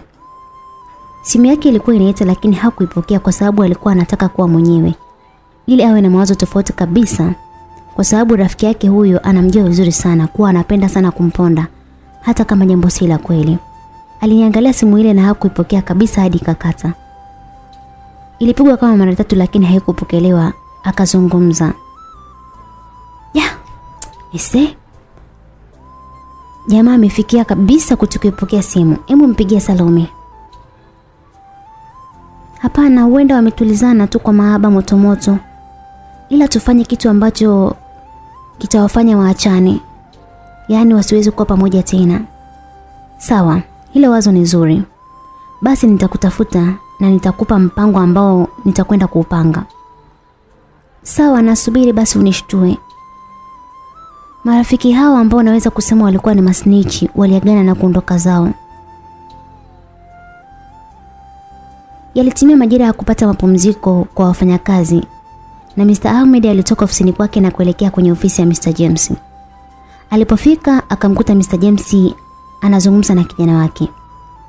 Alipoingia yeye, Mr. James alisimama na kumkaribisha Mr. Ahmed kwa kumpa mkono kisha kijana wa Mr. James pia alimsalimia na kumkaribisha. Karibu sana baba. Ahmed alimtazama Mr. James na Mr. James alitabasamu na kusema, Usishangae Mr. Ahmed, huyu ni kijana wangu anaitwa Ivan. Ivan, kutana na baba yake Salome. Karibu sana baba mkwe. Mr. James alimtoa kijana wake nje kisha akaanza kuzungumza na Mr. Ahmed. Haya mzee mwenzangu, kijana wangu ndio huyu hapo. Na ni kijana wa pekee sana. Na amekuwa akilala na picha za binti yako kila siku kwenye laptop yake. Kiufupi sina cha kueleza kuhusu kijana wangu na ndio maana nikaomba amoe binti yako. Sababu ya kufanya hivyo sio kusafisha tu jina lako, hapana. Sababu nyingine ambayo italeta heshima pia kwangu ni kijana wangu kumwoa binti yako. Sawa, hakuna shida, nimekubaliana na kila kitu. Na ningeomba kama harusi iwe ya haraka sana. Maana siwezi kumtazama usoni kabisa binti yangu. Sawa. Hakuna shida Mr. Ahmed. Leo jioni tutawakutanisha wenyewe wazungumze. Ah, Mr. James. Kuzungumza nini tena jamani? Wakati kila kitu kipo wazi. Sikia. Harusi itakuwa kesho kutwa. Ila nafikiri kama itakuwa kesho majira ya saa kumi na mbili hivi. Sihitaji kabisa mambo ya sherehe, nadhani unanijua vizuri sana. Mr. Ahmed aliondoka zake na wakati anatoka ofisini alikutana na Ivan. alimwaga na kuondoka. Ivan naye ni kijana mzuri pia. Tabasamu lake lilikuwa linavutia sana. Hivyo hata Mr. Ahmed hakuona sababu kabisa ya kukataa ombi hilo. Ahmed alirudi ofisini kwake kuendelea na kazi zake lakini ni kama vile tayari alishamkubali kijana Ivan. Kwa sababu pia alikuwa anaonekana kama vile amekubali moja kwa moja ombi lao. Mr. James kama kijana wake anaonekana ni mstaarabu na mpole. Basi nafikiri binti yangu Salome atakuwa amepata mume sahihi sana na anayestahili kuwa naye. Na kwenye hili lazima waone haraka sana. Ahmed aliendelea kufanya kazi yake bila kisirani wala hasira ya aina yoyote ile. Na upande wa Mr. James na kijana wake walikuwa wanazungumza mara baada ya kuondoka kwa Mr. Ahmed. Ivan, unamwona babake Salome? Amekupenda sana mara baada tu ya kukuona. Na wewe mwanangu hujawahi kuniangusha kabisa kwenye jambo langu. Baba, huyo msichana nimedhamiria kabisa kumuoa. Kwa sababu nimetokea kumpenda sana. Bila hizi skendo sijui ningeweza vipi kumpata. Mwanangu, baba yako najiweza. Ningetumia njia yoyote ile na ungempata tu. Basi sawa. Baba, wacha mimi niende nyumbani. Kazi yangu imeshaisha hapa. Nataka kwenda kupumzika. Ivan. Naam baba. Baba, kuna jambo lolote jipya tena? Nimechoka eti. Nataka kupumzika tu kwa sasa. Sawa mwamba wangu. Nitakukuta baadaye. Sawa baba, kazi njema. Aliondoka Ivan ofisini kwa baba yake na kuanza kuelekea nyumbani kwao. Kwa upande wa Majid, aliweza kukutana na msimamizi mkuu ambaye anasimamia hilo jengo. Akazungumza naye, lakini jibu alilopewa ni kuwa tayari wafanyakazi walikuwa wameshatosha, hivyo hakukuwa na nafasi tena. Ila aliacha namba yake kama atahitajika aweze kupigiwa simu. Majid aliondoka kinyonge sana, akiwa njiani alitamani kumpigia simu Salome lakini moyo wake ulikuwa unasita sana. Lakini wakati huo alipigiwa simu na Salome, akaona hana jinsi kuipokea. Alipokea simu. Salome, mambo? Unaendeleaje? Nilikuwa nataka kukupigia kujua unaendeleaje. Niko sawa lakini Majidi, kwa nini ulipokuja kuniona kwa mara ya mwisho ulionekana kutokuwa sawa? Kuna tatizo? Hapana mpenzi, niko sawa kabisa wala usijali. Baadaye kidogo nitakupigia tuzungumze au nije nyumbani. Ah, usikose kunipigia basi kipenzi. Majidi alikata simu na kuzungumza. Salome, nimekuharibia maisha. Hata yangu pia nimeharibu. Najua hata wazazi wako wameumia sana na hawataweza kukubali endapo wakiniona na wewe. Lakini nakupenda sana. Nashindwa kujizuia kwa ajili yako. Nitafanya nini lakini mimi? Majidi alionekana kuwa na mawazo sana kichwani mwake. Lakini ghafla simu yake ilianza kuita tena. Alipotazama aliona ni namba ambayo ameisave mama. Alitabasamu na kuipokea kwa utulivu sana. Halo mama, za muda huu. Shikamoo mama. Marahaba mwanangu, uko wapi? Nipo tu mtaani mama natafuta kazi. Sawa, ila nakuhitaji nyumbani. Sawa mama, nakuja sitachelewa. Simu ilikatwa na uso wa Majid ulionekana kuwa na nuru sana. Alianza safari ya kurudi nyumbani kwao akiwa na furaha sana. Japo si sana kwa sababu hakujua kama mama yake atamwambia nini. Ila tabasamu lake la kuona tu simu ya mama yake na jinsi mama yake alivyompigia simu lilikuwa dhahiri likionyesha kwamba alifurahi sana.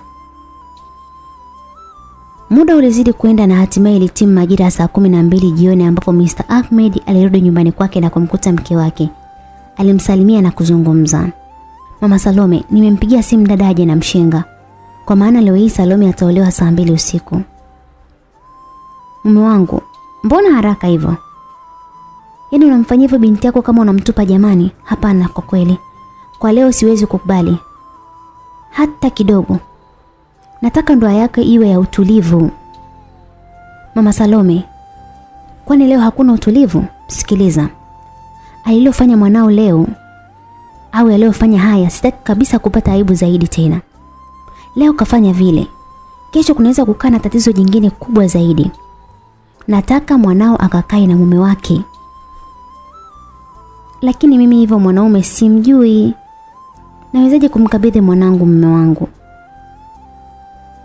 Usijali, cha muhimu mimi namfahamu. Ongea na binti yako.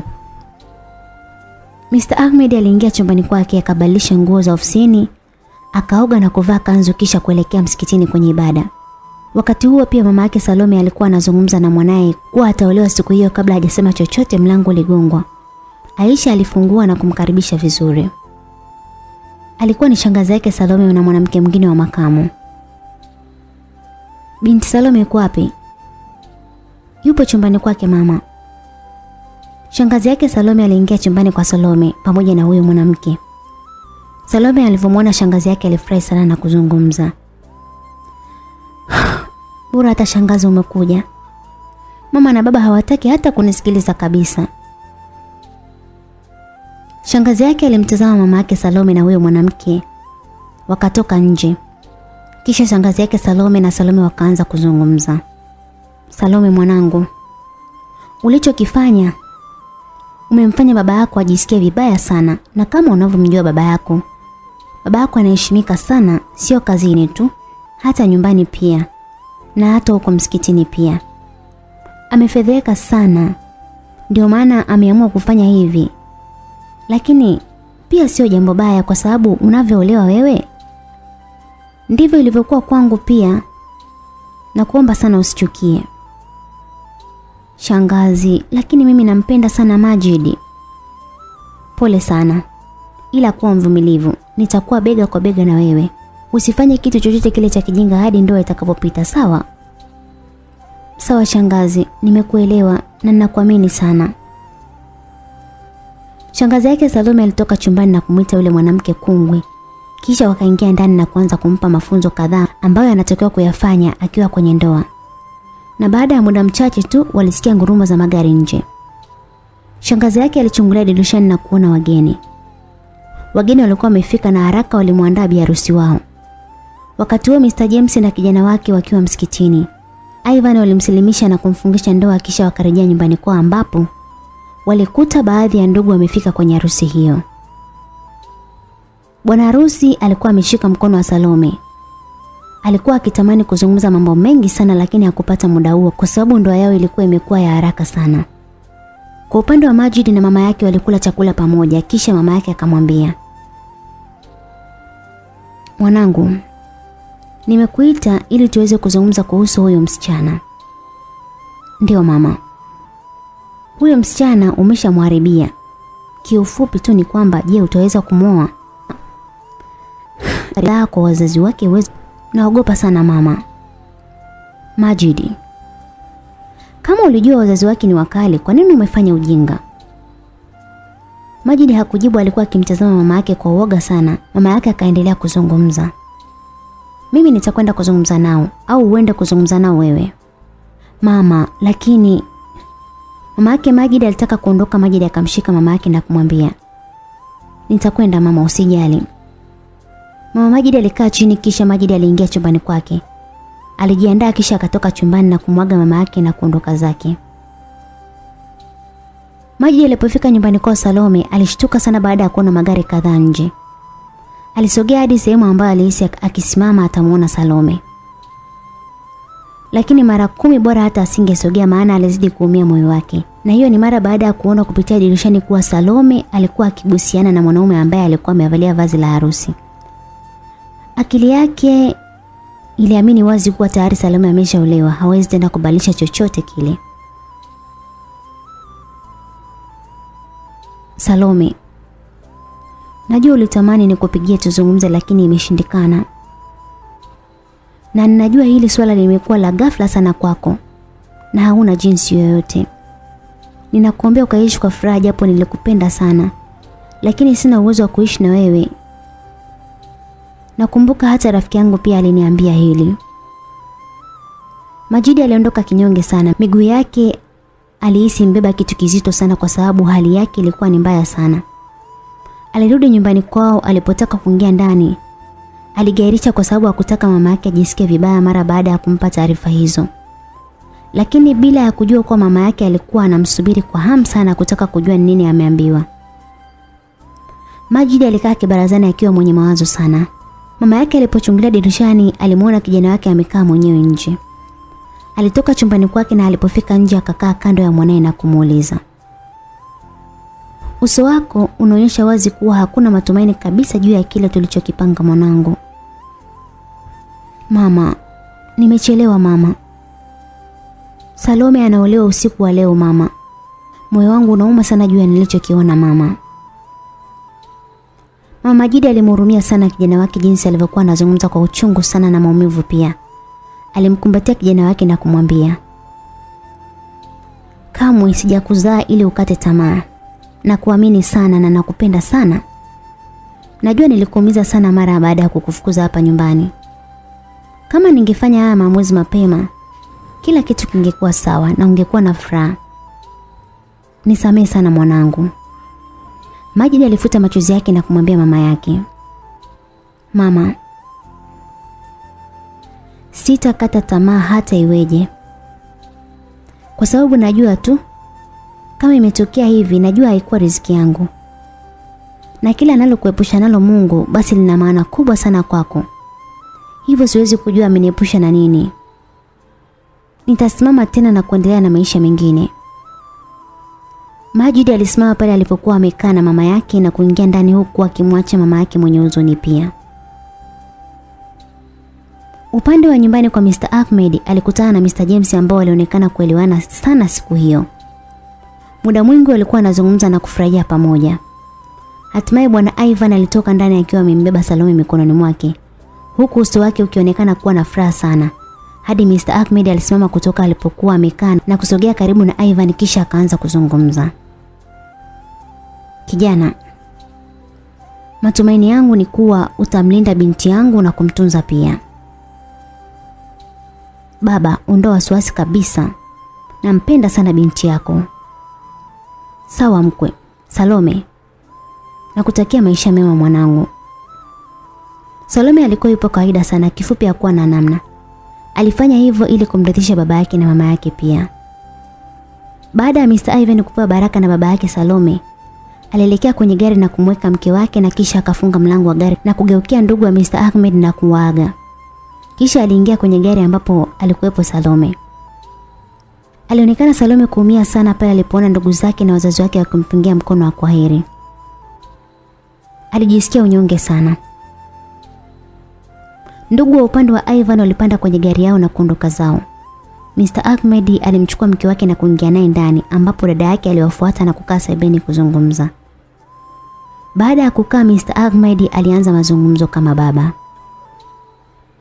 Mke wangu pamoja na dada yangu. Jambo jema ni kuwa tayari tumetimiza jambo letu. Japo hatujui hali gani ameondoka nao binti yetu. Lakini kikubwa ni kumfanyia maombi akadumu kwenye ndoa yake na akapate kuelewana vizuri na mume wake. Amini mume wangu. Lakini kaka, kwa nini umefanya hivyo na hukumpa nafasi binti kuchagua kukubali au kukataa? Maana amelia sana.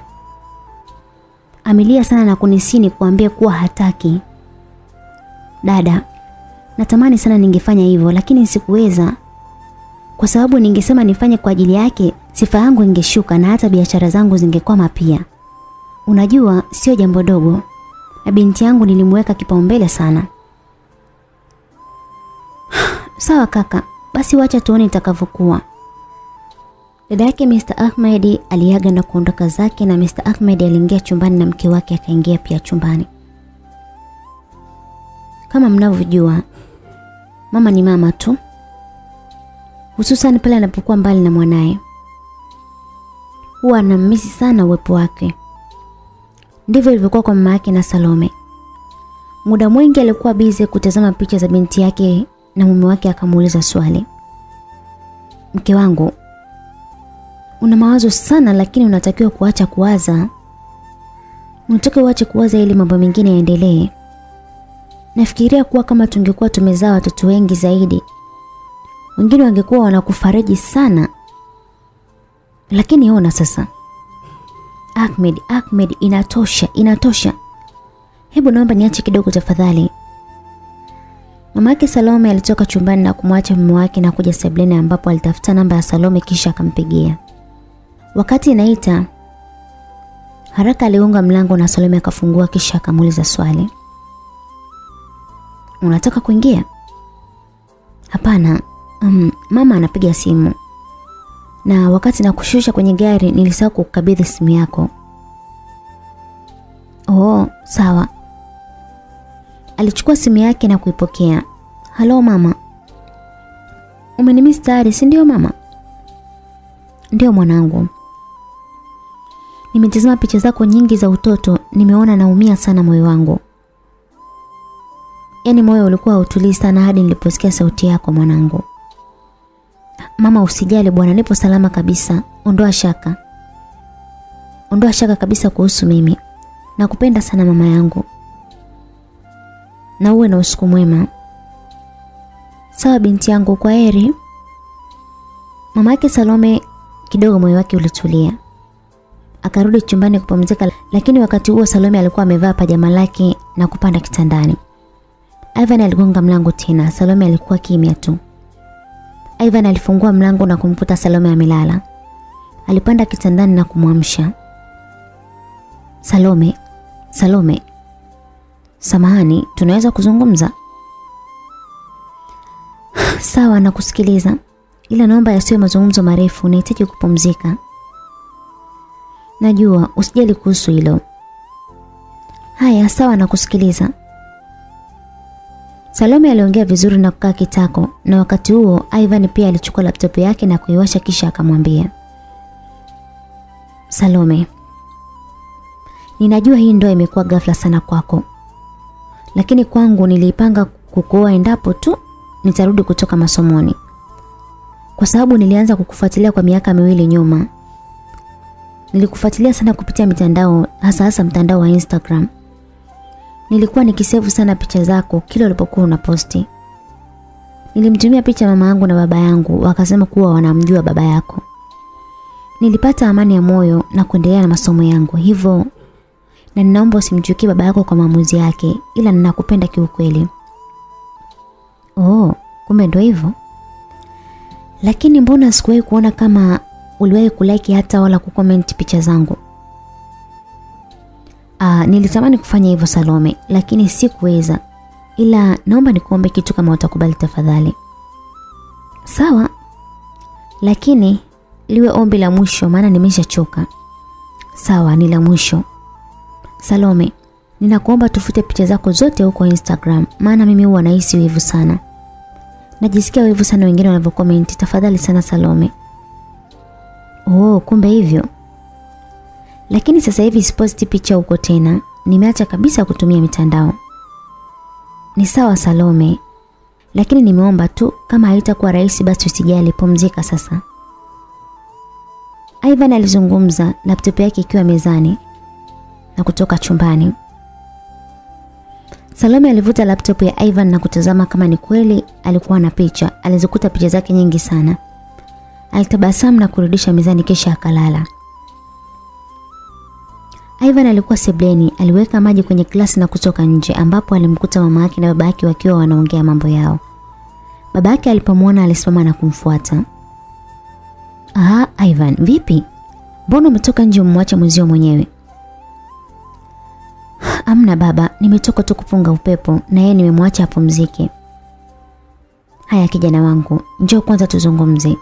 Sawa baba. Alisogea alipokuwa amekaa mama yake na kuvuta kiti na kuzungumza. Mama, vipi na wewe? Huwa unalaga mapema, lakini nashangaa kukuona hapa nje mpaka mida hii. Ah, usijali kijana wangu, nilikuwa najadili na baba yako kuhusu wewe. Hivi utaondoka nyumbani na kutuacha mara baada ya kumaliza fungati? Ah, mama, sina majibu ya moja kwa moja. Siwezi kukujibu kwa sasa. Nitazungumza kwanza na Salome nione atasemaje kisha nitawapa majibu. Ila hadi nimshirikishe nione ana wazo gani. Ah, ni kweli anachosema. Na kama akisema ataishi hapa, basi tupo tayari kuishi naye. Akisema atahitaji kuishi mwenyewe katika nyumba yake, ipo kule, mtaenda kuishi au vipi mume wangu? Ah, ndio baba. Ila nataka kuwashukuru sana kwa kunipambania wazazi wangu. Yaani mmehakikisha ninakuwa na furaha mtoto wenu. Asanteni sana wazazi wangu. Ivan, sisi ni wazazi wako. Na wewe ni mtoto wetu wa kipekee sana. Hivyo ni lazima tuhakikishe unapata furaha yako kila siku. Sawa mama yangu nakupenda sana. Ila wache basi nikalale sasa. Atajisikia vibaya kama akiamka na asinione kitandani. Sawa kijana, ulale salama. Ila eh baba Ivan jamani. Mwache mtoto bwana. Ivan alitabasamu na kuingia ndani. Moja kwa moja alielekea chumbani. Alimkuta Salome amelala. Ila shuka lilikuwa limeshuka kidogo. Alimfunika vizuri kisha naye akajilaza kando. Salome alikuwa na utaratibu wa kuamka mapema sana na kumsaidia Aisha kufanya usafi hivyo. Hata huku pia aliamka mapema sana na alipomtazama Ivan alikuwa bado amejikunja bila shuka. Salome alimfunika lile shuka na kutoka chumbani ambapo alikutana na mama yake Ivan. Alimkuta akiwa anasafisha sebleni. Salome alimsalimia mko wake na kumwambia, "Samani mama. Nataka nikusaidie kufanya usafi." Hapana mwanangu, wala usijali. Wewe ni mwali wangu, sawa? Na mwali haruhusiwi kufanya kazi yoyote hadi atakapomaliza siku zake za fungati. Sawa mko wangu? Wewe nenda kapumzike na usubiri kifungua kinywa mama. Lakini mama, utakuwa na kazi nyingi sana. Lazima nikusaidie tafadhali, naomba uniruhusu mama. Mama Ivan alimkubali Salome. Alimsaidia kufanya usafi nyumba yote na vyooni pia. Kisha akahamia jikoni napo akaandaa kifungua kinywa kisha akarudi chumbani ambapo alimkuta Ivan akiwa amekumbatia mto, alimwamsha. Ivan, kumekucha bwana amka. Alinyoosha Ivan kisha akamsalimia mke wake. Umeamkaje mama na vipi mguu wako? Natembea japo sio sana, natembea taratibu sana. Ila usijali nitakuwa sawa. Okay mama, sitaji usumbuke sana. Kaa hapo kisha nitakuandalia kila kitu, okay? Kila kitu? Kwa nini sasa? Kila kitu nimesha kuandalia mimi. Twende ukanywe chai. Ivan alimtazama Salome kisha akajisemea moyoni. Naam, this is wife material. Akamuuliza swali. Umewezaje kufanya hivyo wakati mguu wako bado haujapona vizuri? Salome, sitaki ufanye kazi yoyote kuanzia sasa. Nitaleta mfanyakazi kwa ajili yako. Hapana bwana, sio hivyo. Nilikuwa nawasaidia wazazi wangu hapo kabla na nimekuja kuishi na wewe ili nikusaidie. Hivyo sioni sababu ya kunitafutia mfanyakazi ikiwa mimi naweza kufanya kazi zangu zote. altabasam Ivan kisha akazungumza. Sawa, nimeelewa. Ila huruhusiwi kufanya kazi kwenye hizo siku za fungati, nielewe mpenzi, sawa? Haya, nitajitahidi basi. Ivan alimsogelea Salome na kumbusu kwenye paji lake la uso kisha akaingia bafuni. Salome alianza kumkumbuka Majidi siku ambao walipeana denda. Akaamka pale alipokuwa amekaa na kutafuta simu yake kama mtu ambaye alikuwa amechanganyikiwa hivi. Na hali hiyo alimkuta nao Ivan hadi pale alipotoka bafuni na kumuuliza swali. Mke wangu, umekuwaje? Mbona ubadilika ghafla? Unatafuta nini? Ah, natafuta simu yangu, sikumbuki nimeiweka wapi. Ah, simu. Niliona umeweka pale kwenye dressing table mara baada ya kumaliza kuzungumza na mama. Salome alisogea kwenye ile dressing table akaikuta kweli. Alichukua simu yake na kuitazama na kumwambia Ivan. Asante Ivan. Okay, sawa usijali. Baada ya kutoka bafuni, Ivan alitaka kuvua taulo ili avae nguo. Salome alifunika uso wake na kuzungumza. Hapana tafadhali, naweza kukupisha uvae? Ivan alifunga taulo na kumsogelea Salome kisha akamwambia, Salome, usione aibu kuniona mimi, mimi ni mumeo. Tunashare chumba kwa sasa hivyo. Ah, hapana, hapana, hapana, siwezi tafadhali. Okay, okay, sawa, sitarudia tena. Ivan alitafuta nguo kwenye kabati na kuingia nazo bafuni. Alivaa na baada ya muda mfupi alitoka na kusogea kwenye kioo na kuanza kuchana nywele. Wakati huo Salome alikuwa anamtazama tu Ivan, kisha akachukua simu yake na kumuaga. Kwaheri mke wangu. Vipi? Nimekuandalia chai lakini. Hapana, siwezi kunywa chai muda huu bai. Ivan aliondoka lakini alionekana kuwa na mawazo sana. Na mara baada ya Ivan kuondoka, Salome alitafuta namba ya Majidi kisha akaipiga lakini namba hiyo haikuwa ikipatikana. Alijisikia vibaya sana na kuamua kumpigia mama yake ili aweze kumjulia hali. Upande wa nyumbani kwao Salome, yaani kwa wazazi wake, mlango uligongwa. Na Aisha alifungua na kumkuta Esther alimkaribisha. Karibu Esther. Asante, niletee mambo yangu, niko ndani. Esther, pole sana. Huko ndani hakuna mtu kwa leo. Na hata siku zingine ukija hautamkuta Da Salome tena. We, unamaanisha nini kusema hivyo? Da Salome ameshaolewa. Yupo kwa mume wake.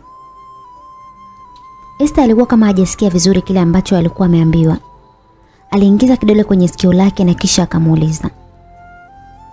Umesema nini? Aisha alimsogelea zaidi na kumwambia sikioni kwa sauti kubwa tu. Ameolewa. Mara hii Esther alisikia vizuri kisha akaondoka bila hata ya kuuliza nani ambaye amemuoa.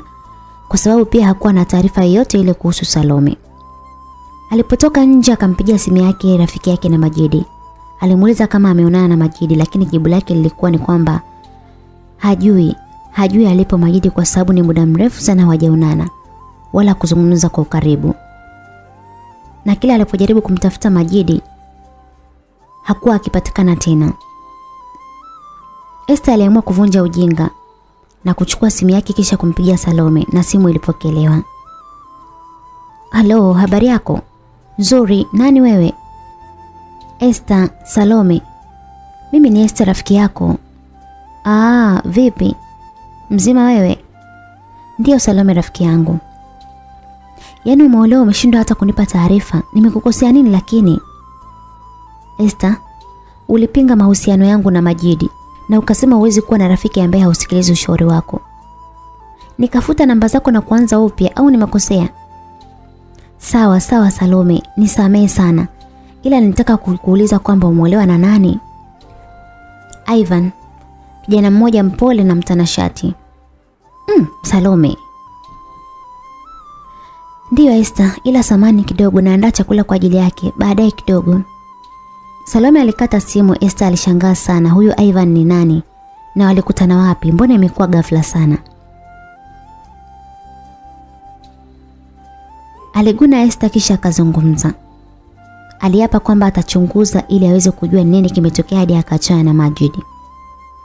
Alikuwa anatembea akitokea nyumbani kwa wazazi wake na Salome na kwa bahati mbaya akakutana na Majid ambaye muda huo alikuwa bize kufanya kazi za mtaani. Esther alishtuka na kumwita kwa mshangao. Majidi. Majidi aligeuka na kumtazama kisha akasogea karibu na kumuuliza. Vipi Esther, masomo yanaendaje? Vizuri. Lakini kwa nini upo hapa wakati ile video imeonyeshwa kuwa sio wewe? Halafu Salome pia yuko wapi? Sikia Esther. Salome sijui alipo kwa sababu ameolewa. Na kuhusu ile video sijui nini. Achana nazo kabisa. Wewe endelea tu na mambo yako. Achana na maisha yangu. Majidi alimjibu kwa hasira na kuondoka zake. Esther ndio alizidi kabisa kushangazwa na kile ambacho kimetokea. Kisha akaamua kumpigia rafiki yake Majidi ili waweze kuzungumza. Waliweza kukutana kisha wakaanza kuzungumza. Esther, ule mpango ambao nilikuwa na usuka tayari umeshatimia.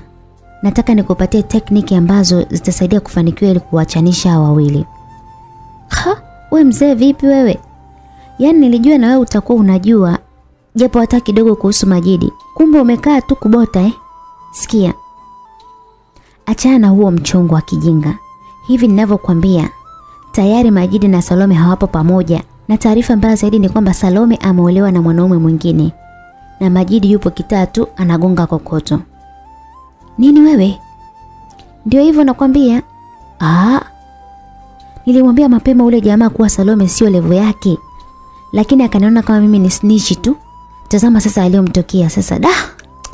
Lazima nikamtafute niweze kuongea naye. Ndio hivyo, wacha mimi niondoke zangu. Esther aliondoka zake. Upande wa ndoa huku muda wote Ivan alikuwa anamjulia hali Salome. Alikuwa akimuuliza kama amekula. Salome alimjibu vizuri sana kiasi kwamba alianza kumpenda taratibu. Jioni moja Ivan aliporudi kutokea ofisini alimkuta Salome akiwa sebleni na mama yake Ivan wakizungumza. Salome alisimama na kumpokea begi mume wake na kumkaribisha ndani, lakini wakati huo alimpa busu la shavuni kisha akampokea vizuri na kuingia chumbani. Wakati huo Ivan alikuwa anatabasamu tu. Alimsalimia mama yake kisha akaingia ndani. Eh, umeshindaje mke wangu? Vizuri, na wewe za kazi? Ah, za kazi mbaya sana. Kwa nini? Ah, nimeshindwa kutoa akilini kabisa muda wote. Muda wote nimekuwa na kuwaza tu, nikashindwa hata kufanya kazi. Ah, utakiwa kuwa hivyo lakini usijari. Nitafanya hivyo. Begi langu umeweka wapi? Alichukua begi na kumpatia Ivan na alitoa laptop yake na kuchukua baadhi ya karatasi na kuziweka mezani na kuanza kufanya kazi yake pale. Salome alimwomba ale chakula lakini Ivan hakutaka kula chakula wala kuoga zaidi ya kufanya kazi tu. Tangu amerudi hakutoka nje tena. Salome na mama yake mko aliandaa chakula. Salome alimfata Ivan wakale chakula, Ivan alikataa. Mama yake alimwambia achukue chakula ile wakale wote chumbani. Salome alifanya hivyo lakini Ivan hakula iko chakula. Wakati huo wazazi wake walikuwa wanazungumza sebleni. Mama Ivan, vipi Salome anaonekana msumbufu au? Hapana mama wangu. Ni binti mwema sana. Kaa na mwanao mzungumze kuhusu ili kuwa asichezee nafasi aliyoipata. Binti ni mpole sana na mchapakazi pia. Na kabla sijasahau, naomba waandalie mazingira kwenye hiyo nyumba yao. Mapenzi yao yananifanya niwe na wivu sana hadi nimekumbuka enzi za ubinti wangu nilivyokuwa na kukaribisha ukirudi kutoka kazini. Oh, sawa. Nitafanya hivyo kisha wataenda kuishi huko ili na sisi turudi tena utoto, si ndio? Asikwambie mtu bwana. Mapenzi ni matamu mkiishi kama washikaji, marafiki ni raha sana. Baada ya stori za hapa na pale, ikabidi na wao pia wakapumzike. Salome aliamka na kuelekea chooni kujisaidia na baada ya kurudi chumbani akamwona Ivan amelala akiwa ameinamisha kichwa kwenye meza. Salome alimuinua na kumpeleka kitandani na alipomfunika shuka tu Ivan alitumia kama fursa alipomwona Salome milana na kumpa mgongo naye alimsogelea taratibu na kumkumbatia kwa nyuma na kuzungumza kwa sauti ya usingizi. Nisamehe sana kwa kutokula chakula chako mke wangu. Najua umechukia ila nisamehe sana. Salome alikuwa hajibu kitu chochote kile. Hapo alikuwa anajisikia vizuri sana baada ya kupata kumbato la Ivan. Lakini Ivan alipoona hajajibiwa chochote aliamua kumwacha Salome na kugeukia upande wa pili. Ambapo na muda huo Salome aligeuka na kutamani kumwambia kwamba amkumbatie tena, lakini kinywa chake kilikuwa kizito kuzungumza. Asubuhi mapema sana Ivan aliamka na kujiandaa kisha akaondoka zake. Na siku hii Salome alichelewa sana kuamka hadi mama yake Ivan aliingiwa na wasiwasi na kwenda kumwamsha. Salome. Salome mwanangu. Salome aliamka na kutazama saa akagundua kuwa tayari ni saa nne asubuhi. Alikurupuka na kuingia bafuni akaoga maji na kubadilisha nguo kisha akatoka sebleni na kumkuta mama Ivan sebleni. Alimsalimia. Shikamo mama. Samani sana nimechelewa kuamka. Oh, usijali mwanangu, ni kawaida kupitiwa na usingizi kutokana na uchovu. Mama Ivan alizungumza hivyo huku akiwa anatabasamu sababu alikuwa anajua kwamba kuchelewa kwake kuamka Salome ni kwa sababu ya uchovu wa siku ya pili ya ndoa, lakini kumbe wala hakuna hata maajabu yoyote wamelala kama kaka na dada tu. Salome baada ya kumwona mamake Ivan anatabasamu, aliingia chumbani kwa kuona aibu. Hapo mamake Ivan akajihakikishia kila kitu kuwa usiku wa jana kijana wake alimpa show nzuri sana mke wake. Salome alipoingia chumbani akasogea kwenye meza ambayo alikuwa anaitumia Ivan usiku ule. Akakutana na karatasi iliyoandikwa. Aliitazama kwa makini na alipotaka kuisoma mara simu ikaanza kuita. Alisimama na kusogea kitandani ambapo ilikuwa hiyo simu na kuipokea. Wakati ile karatasi kikiwa mkononi mwake. Halo, za muda huu. Nzuri tu umeamkaje? Vizuri pia, lakini kwa nini uliamka bila kuniamsha? Ah, sikutaka kukuamsha kwa sababu sikutaka kukusumbua hivyo tu. Sawa, lakini nimechelewa kuamka hapa ndio naamka ujue. Oh, nimekuambia usifanye kazi nyingi. Ona sasa unachoka sana. Usijali, nitakuwa sawa baadaye. Simu ilikatwa, Salome aliweka simu kando kisha akaanza kuisoma karatasi ile. Nampenda lakini haonekani kama anavutiwa na mimi. Labda sina mvuto usoni kwake na hata moyoni kwake pia. Lakini kama ni hivyo itakuwa na faida gani kama tukiendelea kuishi kama mke na mume wakati hana hisia na mimi? Hapana. Nitazungumza naye tena niweze kumuuliza kama hana hisia na mimi. Na kama hana hisia na mimi basi awe huru kuanza mahusiano na mtu ambaye anavutiwa naye na ambaye atampenda. Wakati Salome anasoma ujumbe ule, upande wa Ivan pia alikuwa anawaza haya haya maneno ambayo alikuwa anasoma Salome.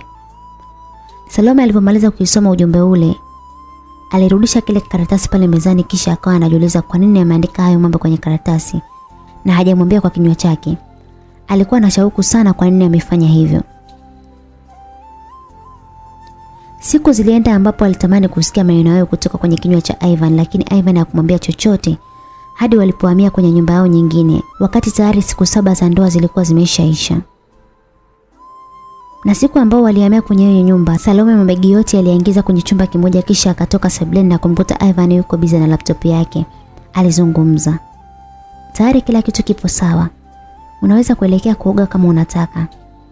Ah, asante sana. Begi langu liko wapi? Ah, begi lako liko chumbani. Nimepanga nguo kwenye kabati pia. Ah, sa sawa. Asante sana. Ila nilitaka kukwambia kwamba tayari nimezungumza na uongozi wa chuo na tayari unaruhusiwa kurudi chuoni, sawa? Ivan, kweli? Ndiyo. Na kama utakuwa tayari, hata kesho naweza kuanza kukupeleka kama utahitaji. Sawa, asante sana Ivan. Sawa mke wangu, usiku mwema, kapumzike. Na wewe je? Ah, nitakuwa na kazi kidogo ila usijali, nitaenda kulala. Salome aliingia chumbani na kuketi kitandani lakini alikuwa na mawazo sana. Kwa nini Ivan amekuwa akimkazia kiasi hiko wakati yeye moyo wake ulishaanza kulainika? Ukweli ni kwamba alikuwa anakosa sana amani baada ya kuona Ivan amzingatii sana. Asubuhi na mapema Salome aliamka na kumkuta Ivan amelala sebleni. Salome alimwamsha. Ivan, Ivan. Kwa nini unalala sebleni? Eh? Jamani. Tatizo ni nini kwani? Ah, Salome samani. Nilipitiwa na usingizi tu ila alitazama saa yake na kugundua kuwa muda umeenda sana. Aliamka na kutoka kwenye sofa na kuingia katika chumba ambako hakukuta nguo zake kwenye kabati kama alivyokuwa amesema Salome. Alirudi sebleni na kuzungumza na Salome. Mke wangu, mbona nguo kwenye kabati hakuna? Ivan, nguo nimeweka huku chumbani kwetu ambapo ni huku katika chumba kikubwa au unaonaje? Um, hapana sio hivyo mke wangu. Aliingia chumbani na kutoa nguo zake zote na kuziweka katika begi na kisha kuingia katika chumba cha pili na kuziweka kitandani. Akaingia bafuni akaoga na kuchagua nguo ambayo alitaka kuivaa kisha akamwaga Salome na kuondoka zake. Salome alijisikia vibaya sana kuona Ivan amezidi sasa, alizungumza. Sawa. Ina maana ameamua kufanya hivi. Basi sawa. Wacha nimwonyeshe kuwa hata mimi ninaumia na nina moyo pia. Salome aliingia chumbani na kuchukua mkoba wake na kuondoka zake. Salome safari yake ilishia nyumbani kwao ambapo alimkuta Aisha akimkanda miguu mama yake. Mama yake alipomwona alifurahi sana na kumkaribisha. Aisha pia wote walifurahi sana kumwona Salome. Baada ya kuingia na kuketi mama yake alianza kumuuliza maswali. Mwanangu, mumeo mama, uweze amini. Nimeshasahau kila kitu. Mungu ni mzuri sana. Aisha alimtazama na kutikisa kichwa na kujiuliza na maana ameshasahau kuhusu Majid. Wakiwa wanaendelea na mazungumzo mara ghafla mlango uligongwa na Aisha alipofungua alikutana na Esther. Alikutana na Esther ambaye alipomwona Salome alimkumbatia na mabusu nje nje na kumwambia Nilikumisi sana na habari njema ni kwamba tumetangaziwa kuwa siku yoyote kuanzia leo unaweza kurudi tena chuo. Mume wako anakupenda sana jamani. Ndiyo ni kweli. Taarifa hizo zilimfurahisha hadi mama yake pia. Akaamua kuingia chumbani ili aweze kumpa taarifa hizo mume wake pia. Wakiwa sebleni Aisha akamuuliza Salome. Da Salome. Ina maana umemsahau kabisa Majidi? Aisha, nitafanya nini sasa? Majidi nampenda sana. Lakini nitafanya nini? Nitafanya nini na hali hii mimi? Salome. Ni kweli umeolewa, lakini ungemtafuta Majidi ukazungumza naye. Wewe leo umekuwa mshauri kuhusu Majidi? Kwani vipi? Wewe hujapata nafasi kwake? Salome, unaongea kuhusu nini? Ah, nilisikia taarifa zako kuwa na mpango wa kunipindua ili uchukue nafasi. Haya sasa. Nafasi kwako.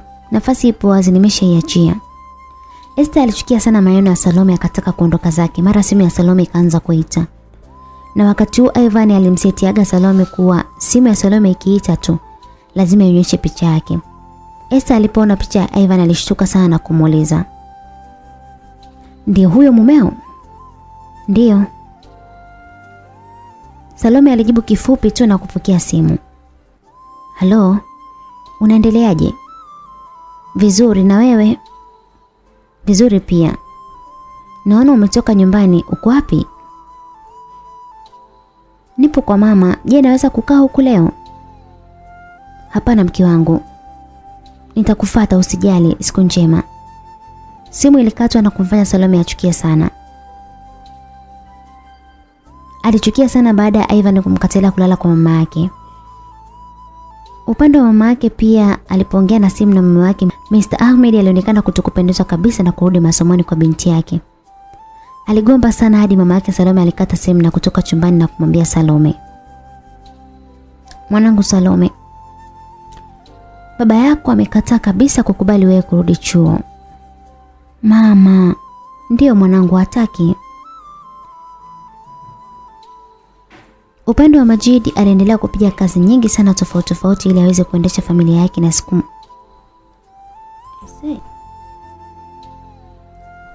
Upande wa Majid aliendelea kupiga kazi nyingi tofauti tofauti ili aweze kuendesha familia yake.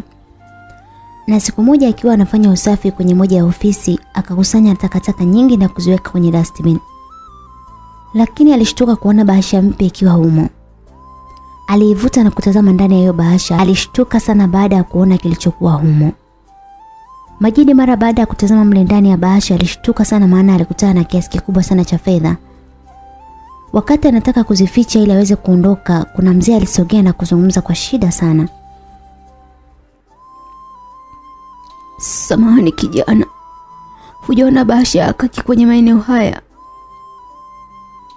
Hiyo bahasha ni mpya hivi na kuna kiasi cha pesa humo ndani. Nilikuwa nakula ndizi na kuna kiasi cha pesa humo ndani. Nilikuwa nakula ndizi na wakati natupa maganda nikatupa na hiyo bahasha. Majid alimhurumia sana huyo mzee na kumkabidhi huyo babu hiyo bahasha. Kisha alizungumza. Pole sana babu. Ila ni hapa nilikuwa nataka Basi usijali kijana, naomba nikupe walau pesa ya soda. Aa babu, usijali bwana. Mungu akutangulie. Huyo mzee aliondoka zake na kumwacha Majidi akiwa amezubaa tu na kujiona mwenye mikosi sana. Wakati huo yule mzee alivyozama tu kwenye kona, alikutana na kijana mmoja ambaye alikuwa amemwagiza na kumwambia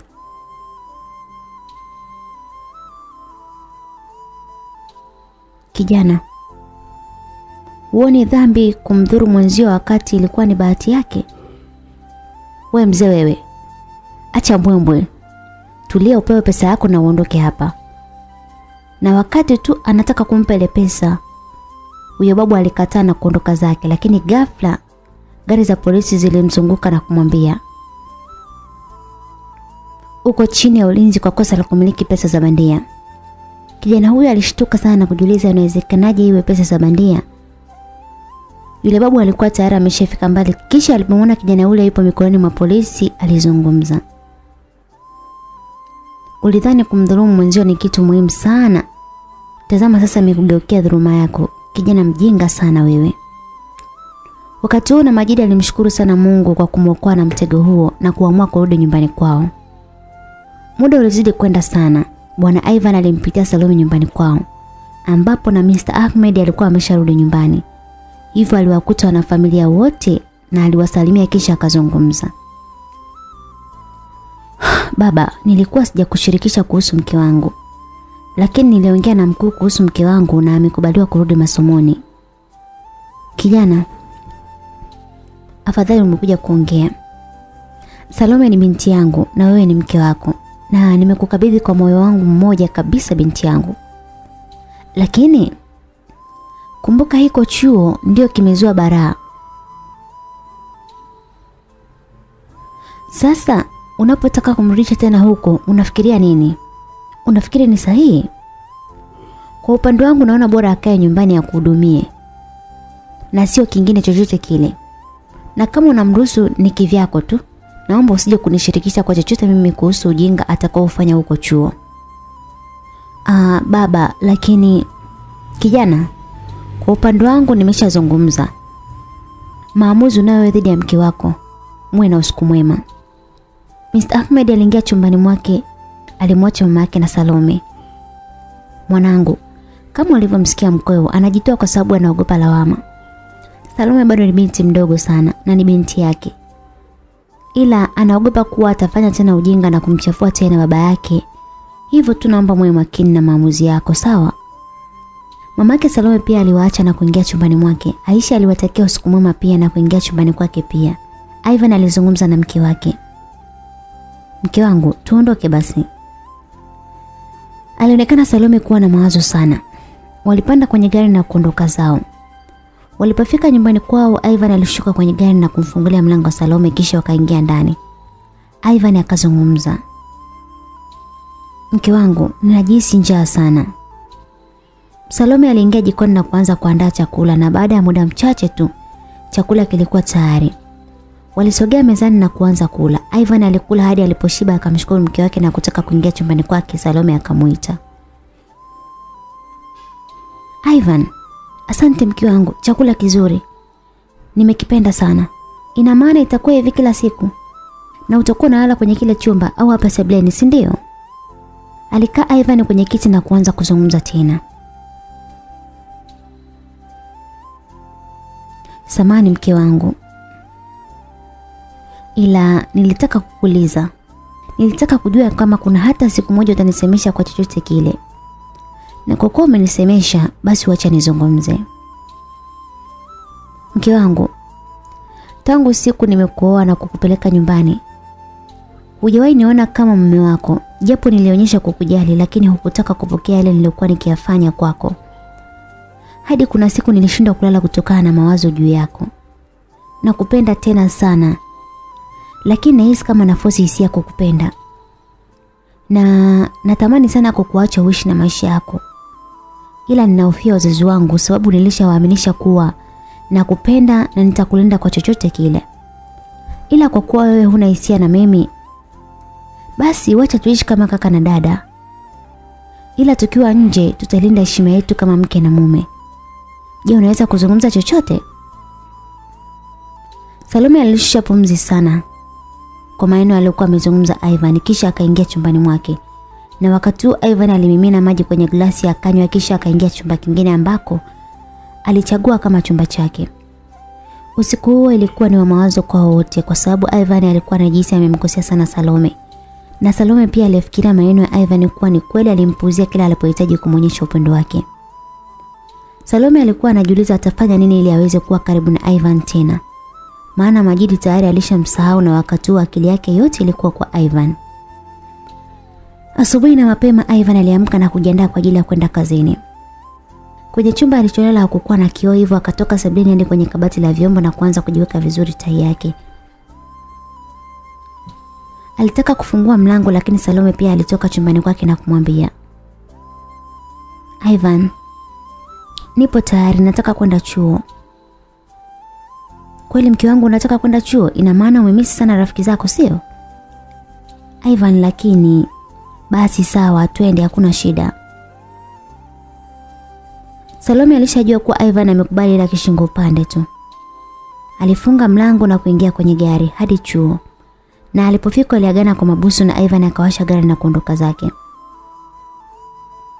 Salome alikumbuka kuwa funguo ameondoka nazo Ivan, ikabidi aite taxi na kuifata gari ya Ivan na wakati gari ya Ivan inafika ofisini na taxi pia ilikuwa imefika. Ivan alikuwa anateremka kwenye gari. Kuna mwanamke ambaye alitoka ndani na kumkumbatia bwana Ivan huku akitabasamu na kucheka.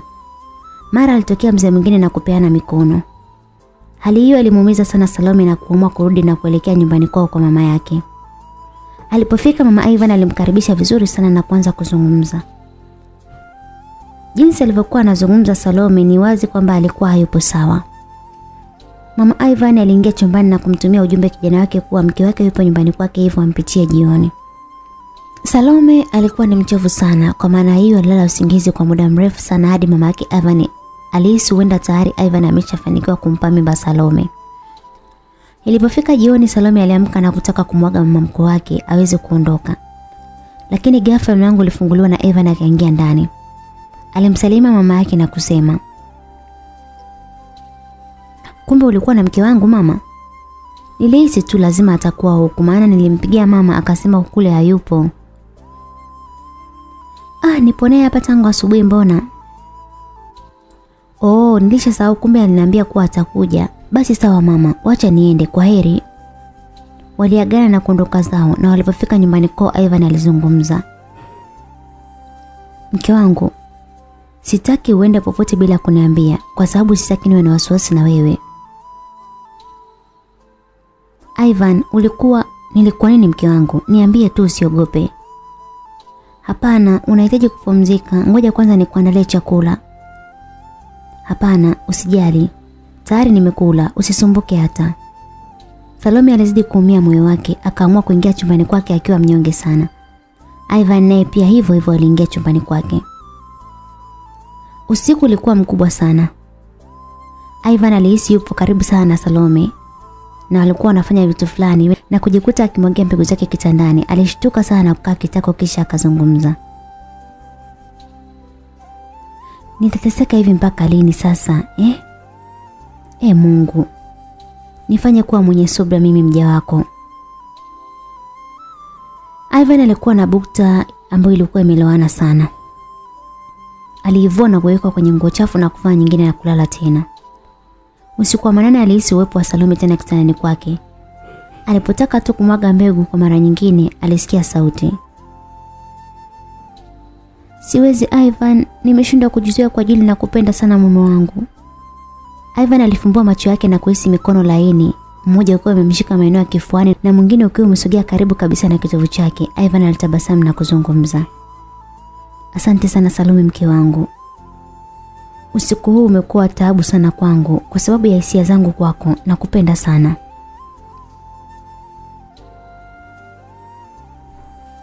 Alizungumza Ivan na baada ya kuzungumza hivyo alimgeukia Salome ambaye alikuwa na kanga yake moja kifuani mwake. Ivan alishika kanga hiyo taratibu huku akimtazama kwa jicho la maaba Salome. Salome naye alipania kumkomesha Ivan kwenye kitanda hicho usiku huo. Ivan alishika kanga hiyo huku akimtazama kwa mahaba sana Salome kutokana na mwanga hafifu wa taa na taa hizo zilikuwa na rangi rangi zikiwa humo chumbani. Salome naye alionekana kuwa mwenye hamu sana na tendo hilo.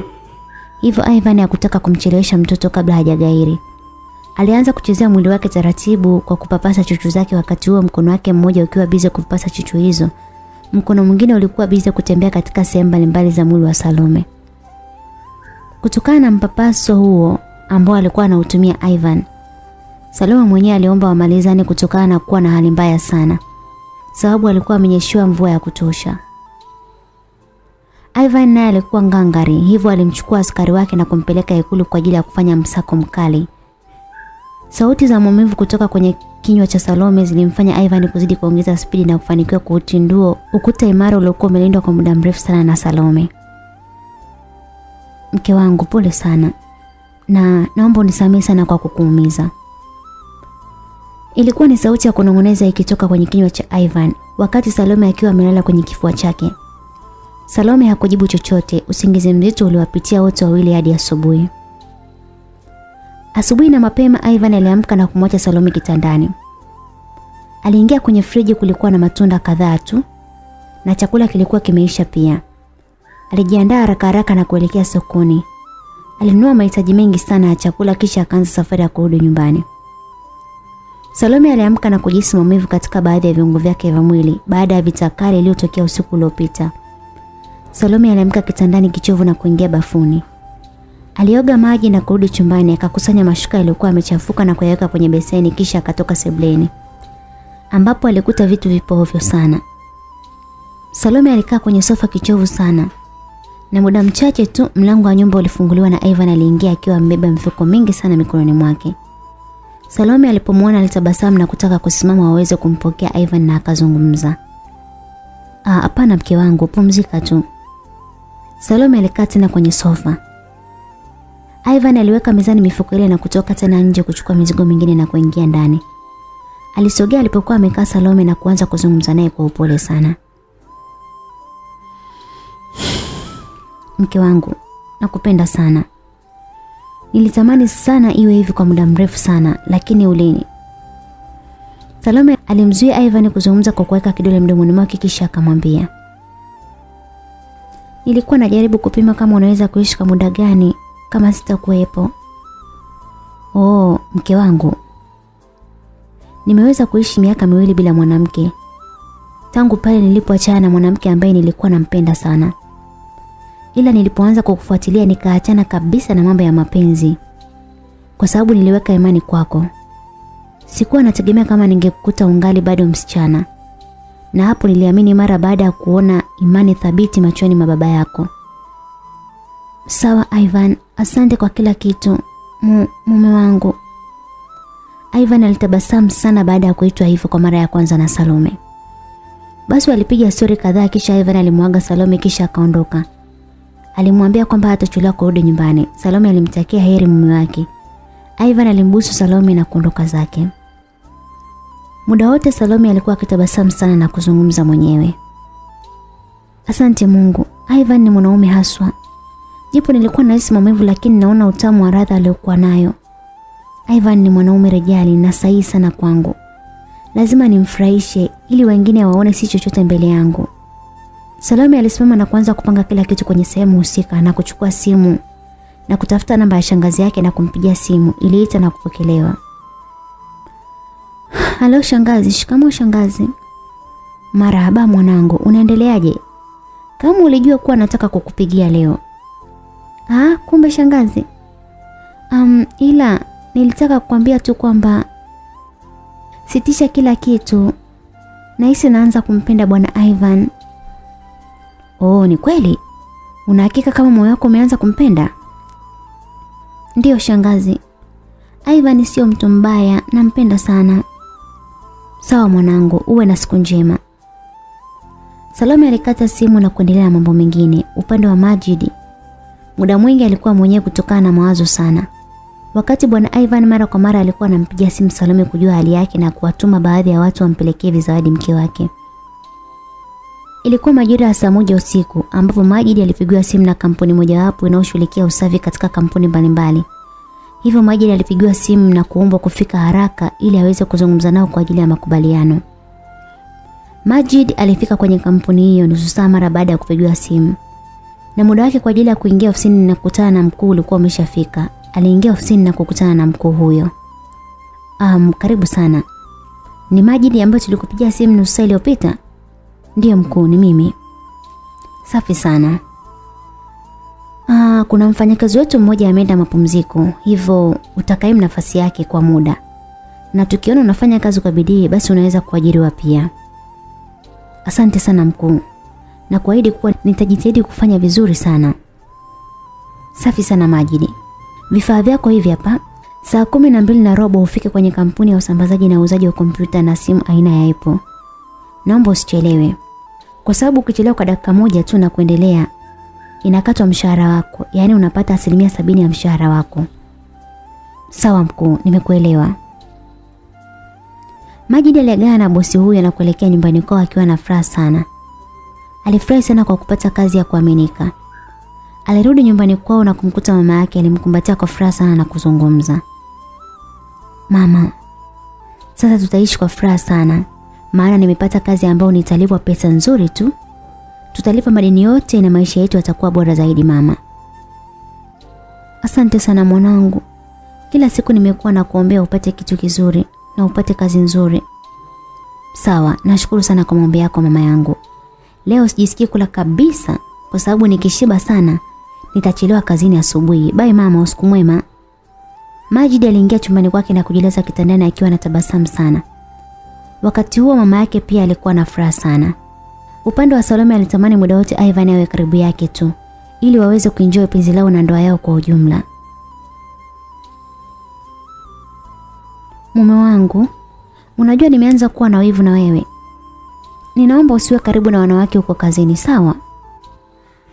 Usijali mpenzi, mimi ni wako peke yako na sitaruhusu mali yako au ni mtu mwingine. Kwani nakuamini sana. Ila sitaki wewe ukose uaminifu kwa ajili yangu. Nataka uniamini milele, sawa? Sawa mume wangu, nakupenda sana. Sawa. Basi kuanzia leo tutalala chumba kikubwa ili Nilitaka kukwambia hivyo pia. Ivan alimbeba Salome na kuingia naye chumbani. Kwa upande wa Majid asubuhi na mapema aliamka na kujiandaa na kuelekea kazini. Alielekea kwenye kampuni husika. Aliwahi sana kufika tofauti na wengine. Na lilipofika gari la faa walianza kufanya usafi ndani ya dakika 15 tu. Tayari walikuwa wameshamaliza, hivyo walipanda kwenye gari na kuondoka zao. Wakiwa kwenye gari kijana mmoja alimsogelea Makini na kumsalimia. Mambo vipi kaka? Poa tu, habari yako? Nzuri, mwanzo sikuweza kukutambua kwa sababu ya ubize.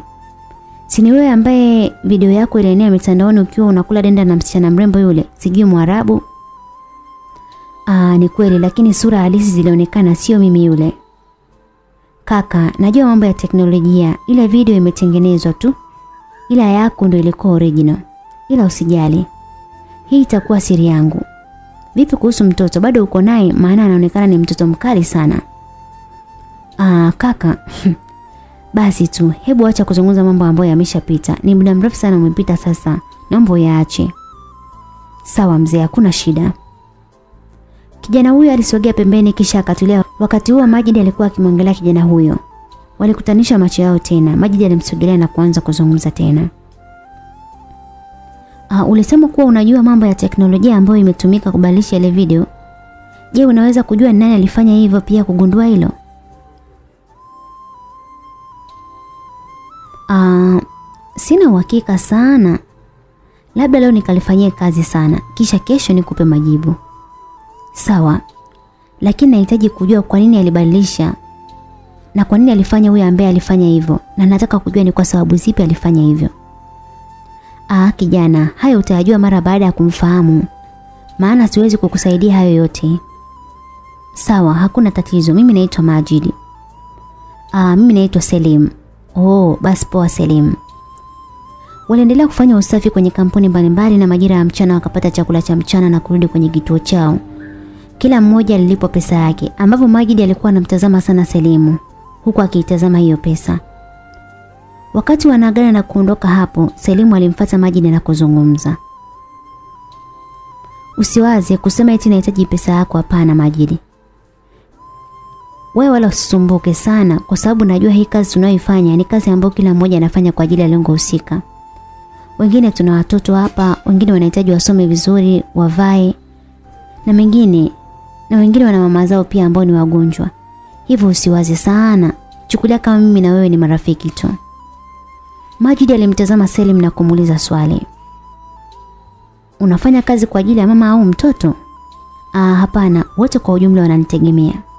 Hivyo ndio maana najituma sana ili tu waweze kufurahia maisha japo mama yangu ni mgonjwa sana. Ila anaamini katika kipato changu cha halali ambacho nakipata japo ni kidogo. Ah, sawa Selim, pole sana. Na sasa hivi ni mapema sana kurudi nyumbani. Je, naweza kuungana na wewe hadi nyumbani kwako? Sawa, hakuna shida. Tunaweza kwenda. Majid alipata rafiki mpya siku hiyo hiyo ambayo alianza kazi na kufanikiwa kwenda nyumbani kwao Selim. Nyumba yake ilikuwa sio kubwa sana wala ndogo sana, ilikuwa ya wastani tu na nzuri pia. Karibu Majidi, hapa ndio nyumbani kwangu. Karibu sana. Asante sana. Hapa ni kwako? Ndiyo, ni nyumba yangu ambayo nimeanza kujenga muda mrefu sana hadi kukamilika. Nilikuwa bwana mdogo sana. Karibu. Asante. Waliingia ndani ambapo walimkuta mama yake Selimu amekaa sebeni akitazama television. Selimu alisogea kwenye kiti alichokaa mama yake na kumsalimia. Mama, habari za muda huu? Nzuri mwanangu. Kazi zako zimeendaje na umeshindaje? Ah, nime nimeshinda vizuri mama. Dawa zako umetumia? Ndiyo mwanangu, lakini huyu ni nani? Ah, huyu ni rafiki yangu. Unasemaje?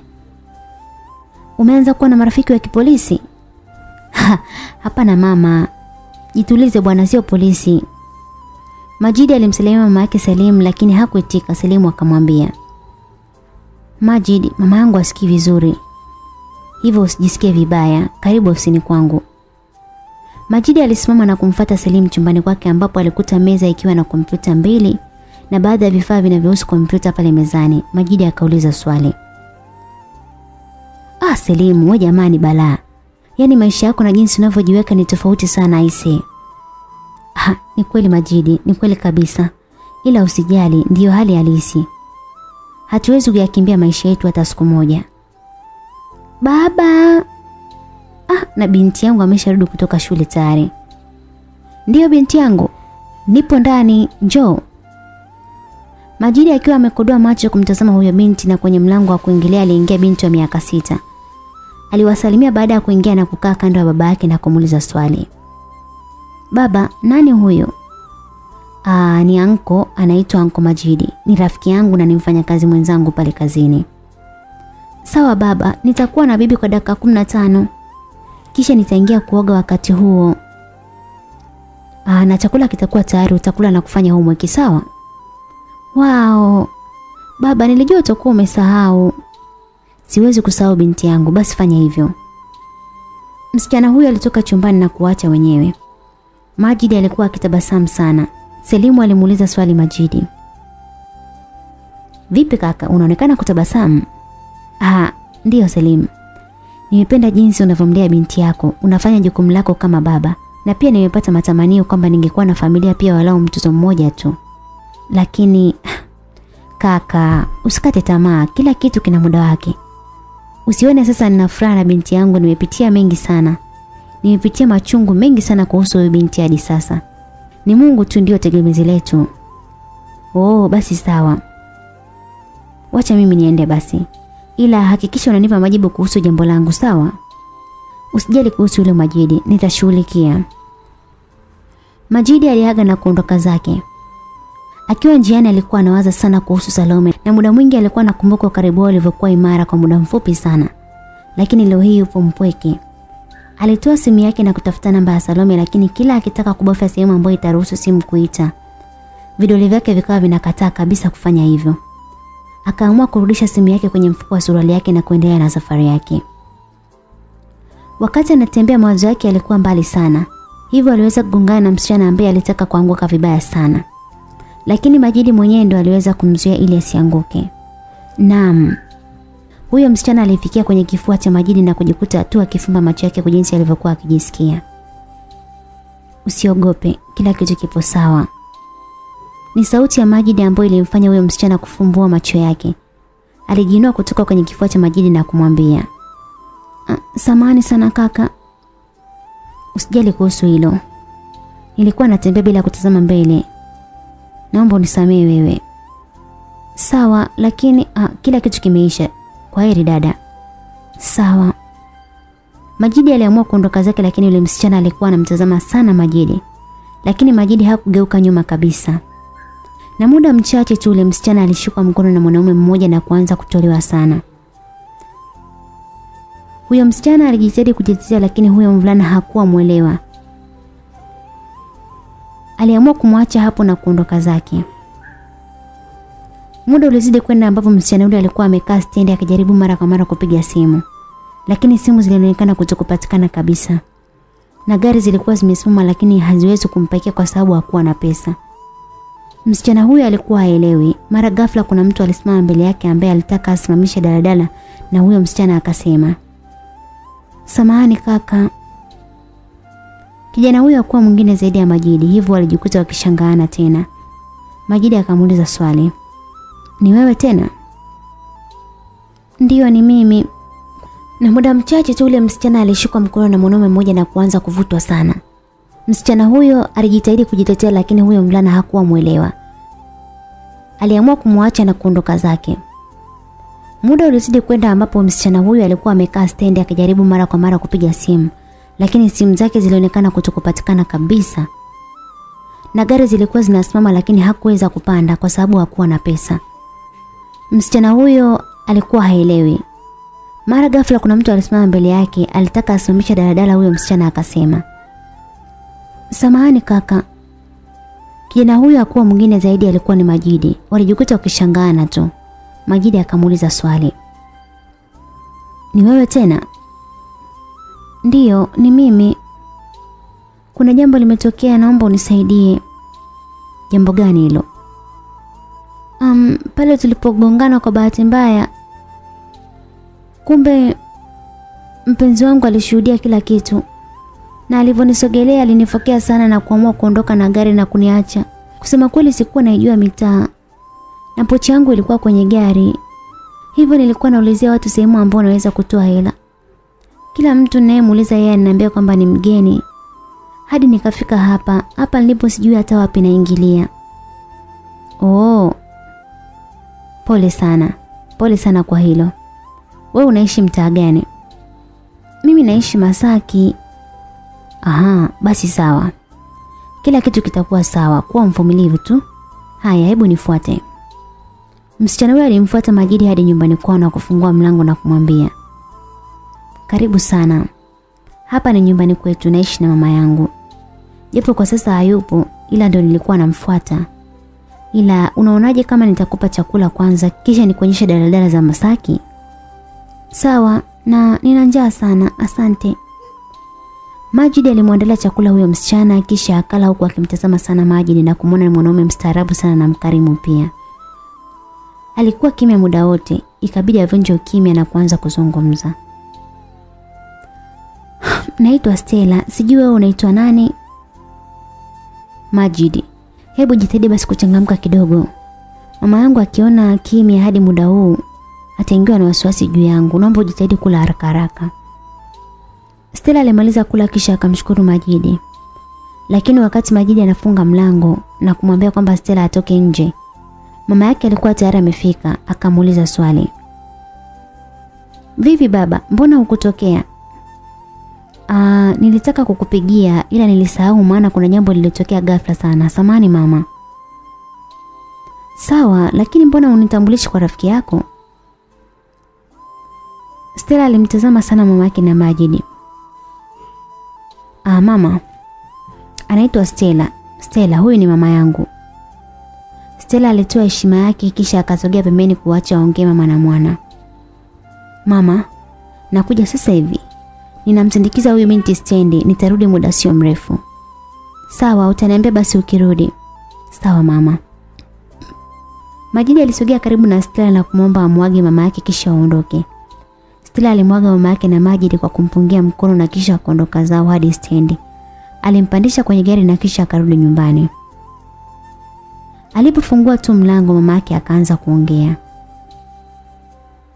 Haya, ndiyo baba, nipe maneno. Usiku na huyo binti ilikuwaje? Mama, huwezi amini. Jua tu ilikuwa kama bahati tu na alikuwa amepotea na kila aliyekuwa akimuuliza alikuwa anamjua vibaya. Ila mimi sikuwa na tatizo naye, nikaamua kumsaidia. Mwanangu, kama ndiyo mchumba wala si uniambie tu. Mimi nitafurahi sana na kukupa baraka zangu kama mama. Ah, hapana mama, usijali bwana. Nikiwa tayari nitakwambia. Uwe na usiku mwema mama. Majidi, we Majidi. Tayari Majidi aliingia chumbani kwake na kuutoa mtu ambapo alikutana na picha ya Salome na kuanza kuzungumza nao kama vile wapo pamoja. Salome. Sijui nini kimetokea hadi umesahau kabisa hadi yetu mimi na wewe. Ila mwenzio bado nina imani na wewe na bado ninakupenda sana. Tafadhali Salome. Amka kwenye usingizi ambao umelala na unikumbuke walau kidogo. Siwezi kufanya kitu chochote kile hadi nipate ushahidi kwa nini umeamua kufanya haya yote. Hadi nawaza huenda nikawa na makosa kwa kutokuzungumza na wazazi wako. Lakini ningewezaje ikiwa tayari nimeshachelewa? Salome, Salome. Mlango ulifunguliwa na mama yake Majidi aliingia na kumuliza kijana wake. Ina maana mwanangu bado tu una matumaini juu ya Salome? Hivi huyo binti amekufanya nini? Amekufanyia nini hadi ushinde kumsahau mwanangu? Hebu tazama huyo msichana. Mbona mnaendana? Kwa nini usiwe naye tu? Na ni mzuri pia. Mama, tafadhali huwezi jua kipi kipo moyoni mwangu na kipi ni matamanio yangu na kipi ninatamani kuwa nacho. Simfahamu kabisa vizuri huyo msichana mama. Wakati majini anazidi kuzungumza mama yake akiwa anaumia moyo wake, ghafla simu yake ikaanza kuita. Alipokea na kuzungumza. Halo? E, kaka Majidi, mimi ni Selim. Ndiyo kaka, mbona usiku kuna tatizo? Hapana, ila nimeweza kufahamu jambo. Nimeshindwa kabisa kujizuia kabisa nikaona simu ilikata ghafla na Majidi alipojaribu kumpigia simu yake haikuwa na salio. Alichukia sana. Aliamua kujilaza kitandani kwake kwa hasira sana na mama yake alimuuliza swali. Mwanangu, umepokea taarifa mbaya? Ah, hapana mama, usijali. Niache tu nipumzike. Mama yake alitoka chumbani na kumwacha kijana wake apumzike. Asubuhi mapema sana kama kawaida Majidi aliamka na kuelekea kwenye kampuni ambapo waliahidiana kuanza kufanya usafi. Napo waliwahi pia hivyo walifanikiwa kufanya usafi haraka sana na kwenda kwenye kampuni nyingine. Walipokuwa wanafanya usafi, Selimu alionekana sana kumtazama mmoja wa wafanyakazi ambaye alikuwa anaingia hapo ofisini kwa muda mfupi. Hadi Majidi alimuuliza swali. Vipi kaka, unafahamiana naye? Hapana. Ila nafikiria labda kuna sehemu niliwahi kuonana naye, ila sikumbuki. Ah, sawa. Basi tumalizie tuondoke. Walimaliza kufanya usafi kisha wakapanda kwenye gari na kuondoka zao. Baada ya kumaliza kwenye makampuni yote na kurudi ofisini kwao, bosi wao waliwaambia kitu. Kampuni ya Apple tumemalizana nayo. Hivyo kesho hatutaenda huko tena. Kampuni ya Apple tumemalizana nao, hivyo kesho hatutaenda huko na kampuni ya Mr. Jackie pia. Ila kuna kampuni mpya tunaweza kuanza kesho kufanya usafi. Hivyo nadhani tunahitajika sana, tafadhali sana na waomba. Usijali kuhusu hilo bosi. Walipewa ujira wao kisha wakaanza kuondoka zao. Wakiwa njiani Majidi alimshtua Selim. Kaka vipi?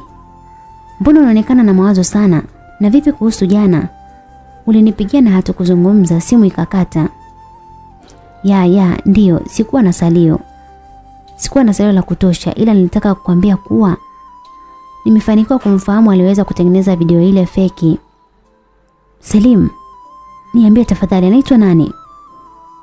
Ivan, anaitwa Ivan James. Je, unaweza kugundua anapoishi? Hapana, ila nitajitahidi kuchunguza zaidi wapi anaishi na nitakujulisha. Si unajua tena? Ila baada ya kumchunguza sana, anaonekana ni msomi sana, yani ni msomi hadi akafanikiwa kufanya hivyo na kuwaaminisha umma kuwa ile video ni feki. Aise, ni kweli kabisa. Ya, na ame, amesoma nje ya nchi tena kwa miaka mitatu. Na ndio maana amekuwa na ujuzi sana wa kutumia vizuri kompyuta. Aise, ni kweli, ila nataka kujua wapi anaishi. Na ukishapajua kaka, usijali bwana.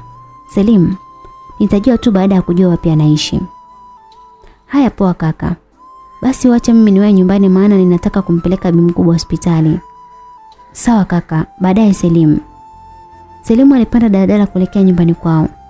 Lakini Majidi alikuwa hajaenda nyumbani kwao, alikuwa anazunguka tu mitaani na alikutana na Esther kwa bahati tu.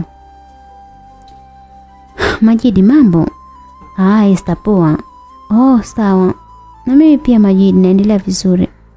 Sawa Esther, vipi masomo? Ah, safi, ila profesa alisema kuwa anatarajia ujio wenu chuoni wewe na Salome. Lakini wiki mbili zimepita hamjafika. Ah, Esther, mimi binafsi sihitaji kabisa kurudi kusoma tena. Labda yeye kwa upande wake. Majidi, hivi umeamua kabisa kumwacha kabisa Salome aishi na maisha yake? Mara ya mwisho kukutana naye nilimuuliza kuhusu wewe lakini hakutaka kabisa kukuzungumzia. Ni wazi kuwa hakukumbuki tena. Majidi aliumia sana kusikia hivyo lakini naye hakutaka kujifanya mnyonge zaidi mbele ya Esther akazungumza. Sawa, hakuna tatizo. Kwa sababu hata mimi nimeamua kumove on. Yeye ameshaolewa. Na mimi hivi karibuni nitaoa, hivyo wala usiwazi kuhusu yeye. Mwache tu.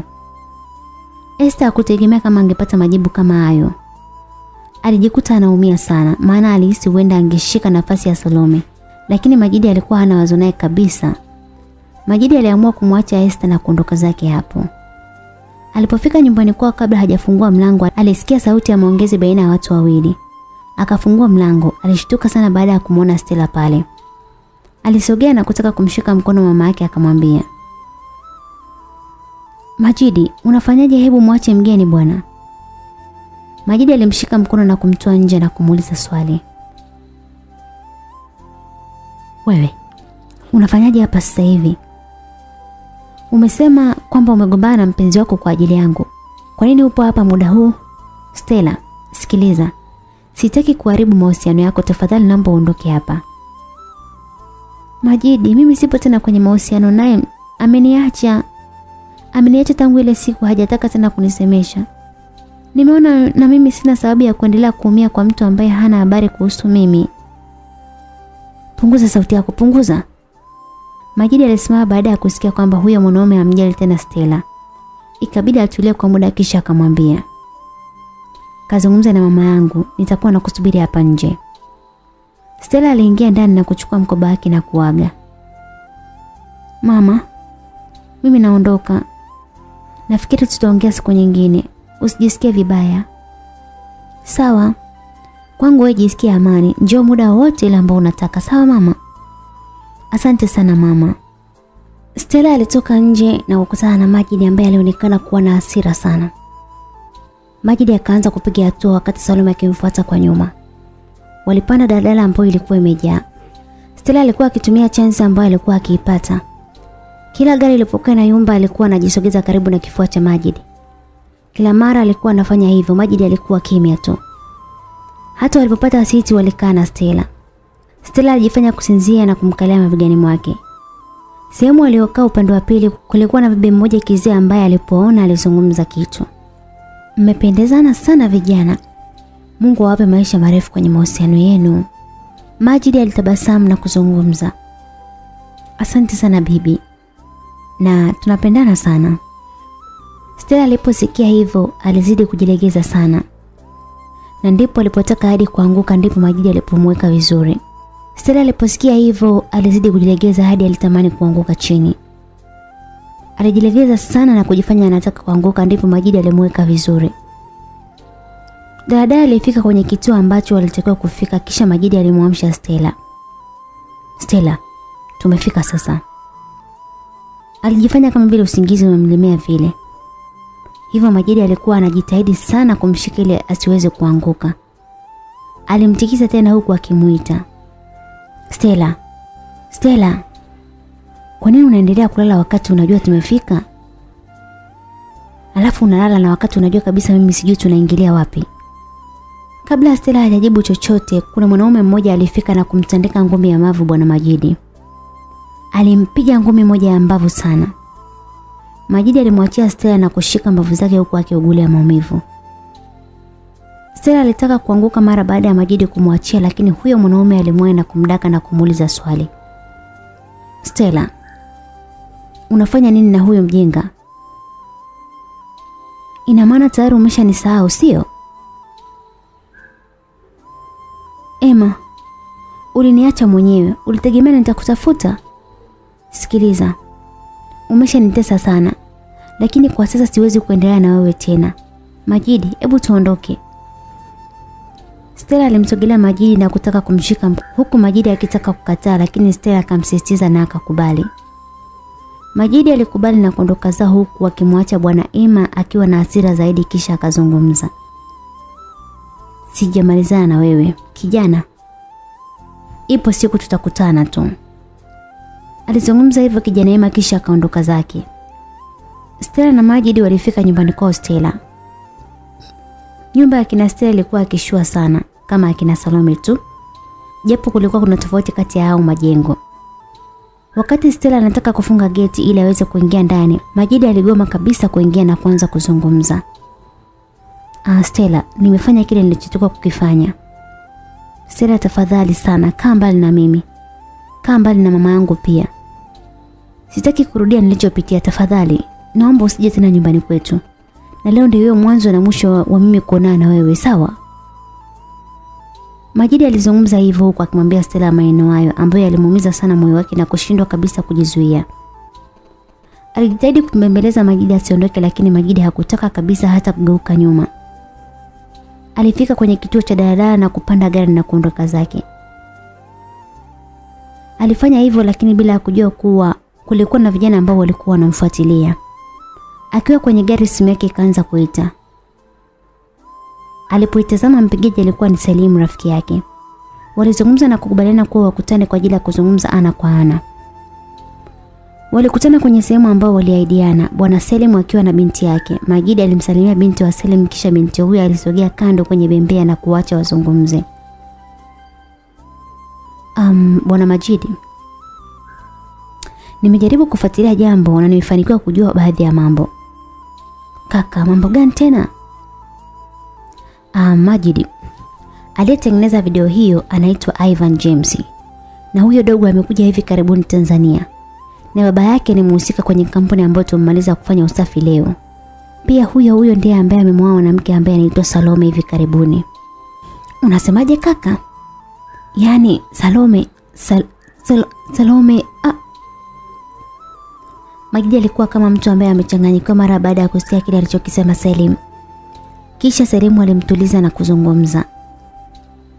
Ah, Majidi, nimekuambia haya yote kwa sababu najua wewe ni mwanaume ambaye unahisia na unajua kile unafanya. Sikutaka kukuficha kitu chochote kile. Maana ingekuwa kama mzigo kwangu. Majidi, Tuliza akili kisha ufanye mambo taratibu bila kukurupuka sawa? Ah, Selim, nashukuru sana kwa kila kitu. Nakushukuru kwa kila kitu ambacho umefanya kwa ajili yangu na asante sana. Basi wacha mimi niondoke sasa. Wakati Majidi anapiga hatua kuondoka pale, binti yake Selimu alimkimbilia huku akiita, "Anko, anko!" Aligeuka Majidi na alipoona binti huyo alijichumaa na kumkumbatia huku akifuta machozi ambayo yalikuwa yanamtoka. Kisha alizungumza, "Ah, samani binti, nilisahau kukuaga.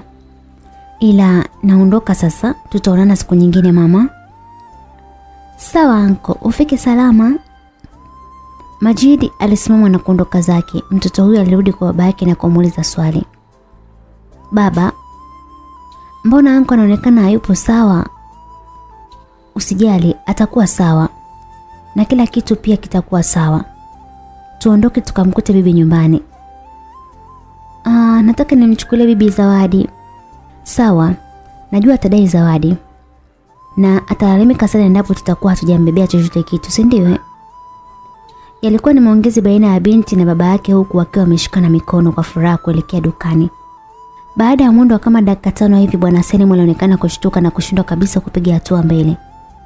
Binti yake wakati alikuwa yuko mbele, lakini baada ya kuona baba yake amesimama hatua alirudi nyuma na kumuuliza swali. Baba, mbona umesimama kuna nini? Zulfa, mie mie uh, Kulikuwa na mwanamke mbele yake ambaye alikuwa anaonekana yupo na majeraha usoni na baadhi ya sehemu ya mwili wake. Na hiyo ni kutokana na nguo fupi ambayo alikuwa ameivaa na alikuwa anaingia kwenye gari kupitia msaada wa mwanaume. Baada ya kuingia kwenye gari mwanaume huyo alionekana kufoka sana huku akielekea upande wa pili ili aweze kupanda gari na kuondoka.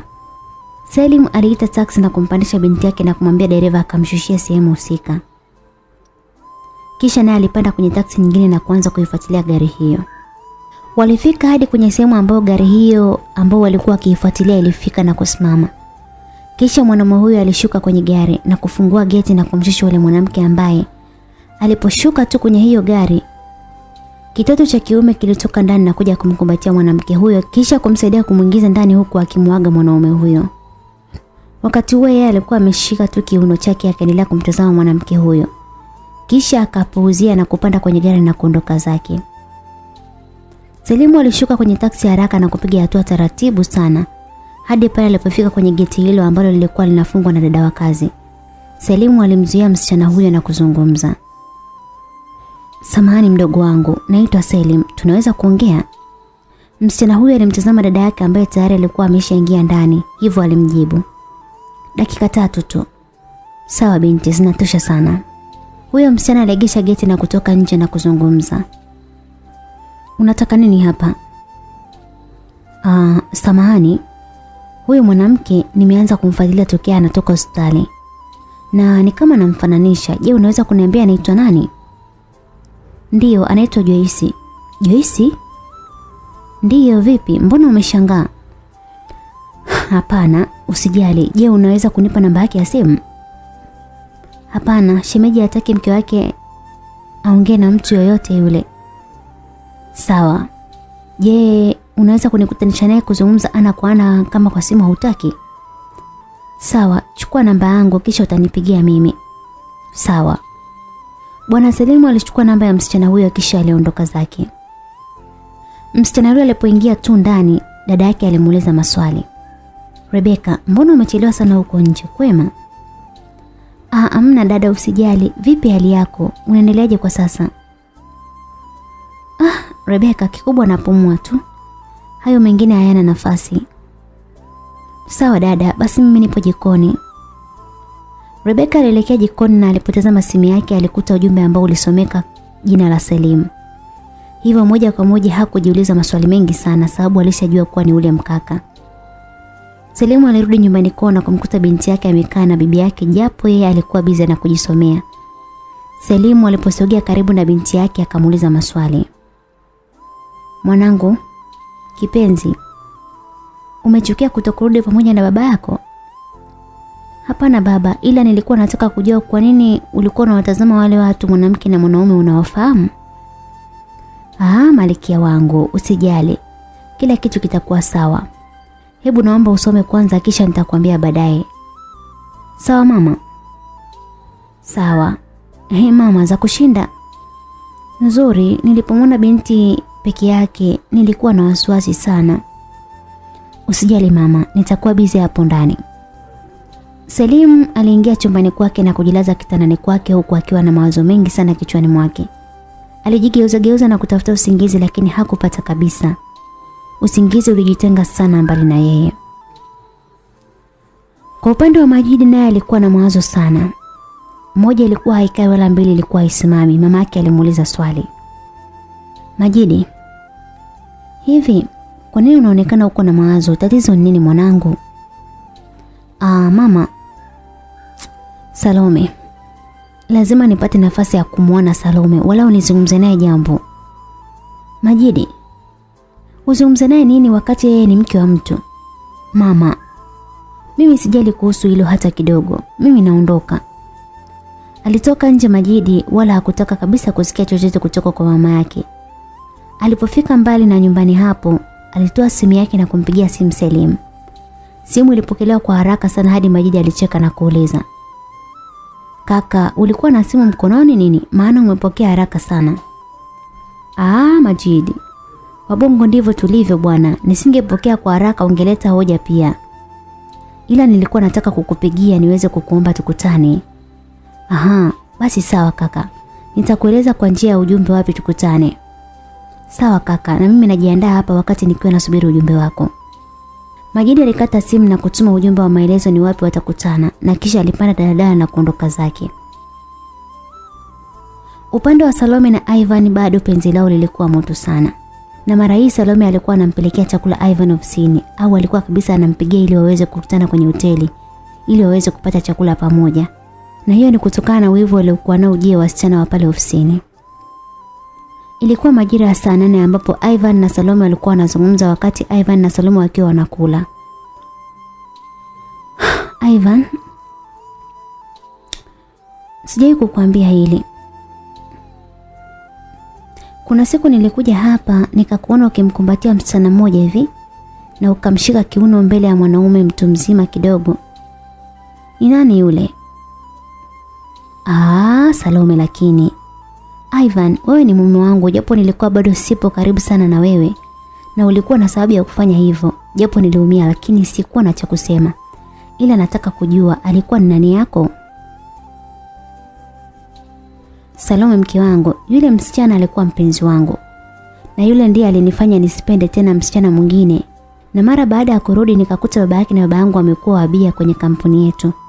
Na mahusiano yetu hayakuwa yakijulikana na wazazi wake na wakwangu pia. Na alivyoniacha pia walijua. Ila nilimsalimia kama rafiki tu lakini sina hisia naye tena. Kwa sababu hisia zangu zipo kwako Salome. Salome alimtazama Ivan ambaye alionekana kama vile alichokuwa kikisema kina ukweli. Na alikuwa akizungumza kutoka chini ya uvungu wa moyo wake. Hivyo Salome aliamua kuwa kimya tu kwa kuisitisha mada hiyo na kuzungumzia kuhusu mambo mengine.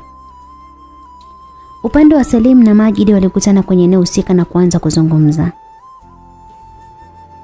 Salim, ulisema kuwa ulitaka kunipigia kuna mpya gani?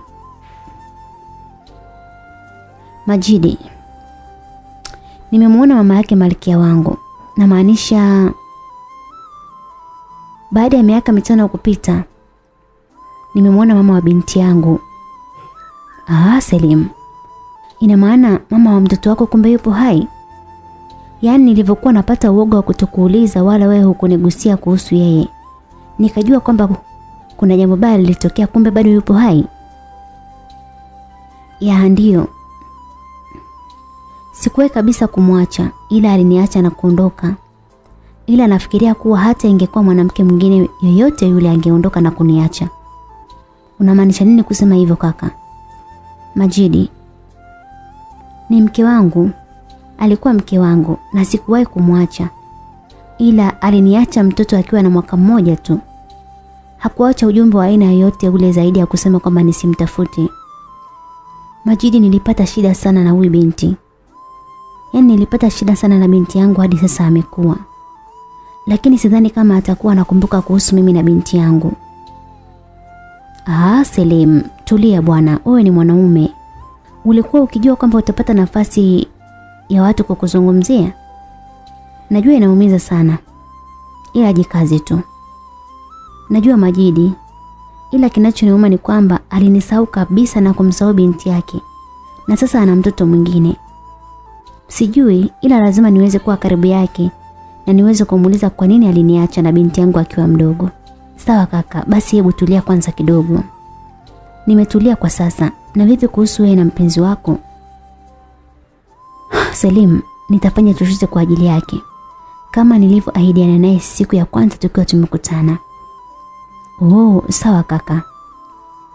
Mara ghafla simu ya Selimu uliingia ujumbe ambao aliufungua. Alipotazama ujumbe ule ulikuwa unatoka kwa Rebeka. Selimu alitabasamu na kuzungumza. Majidi, naondoka ila nitakupigia tena baadaye.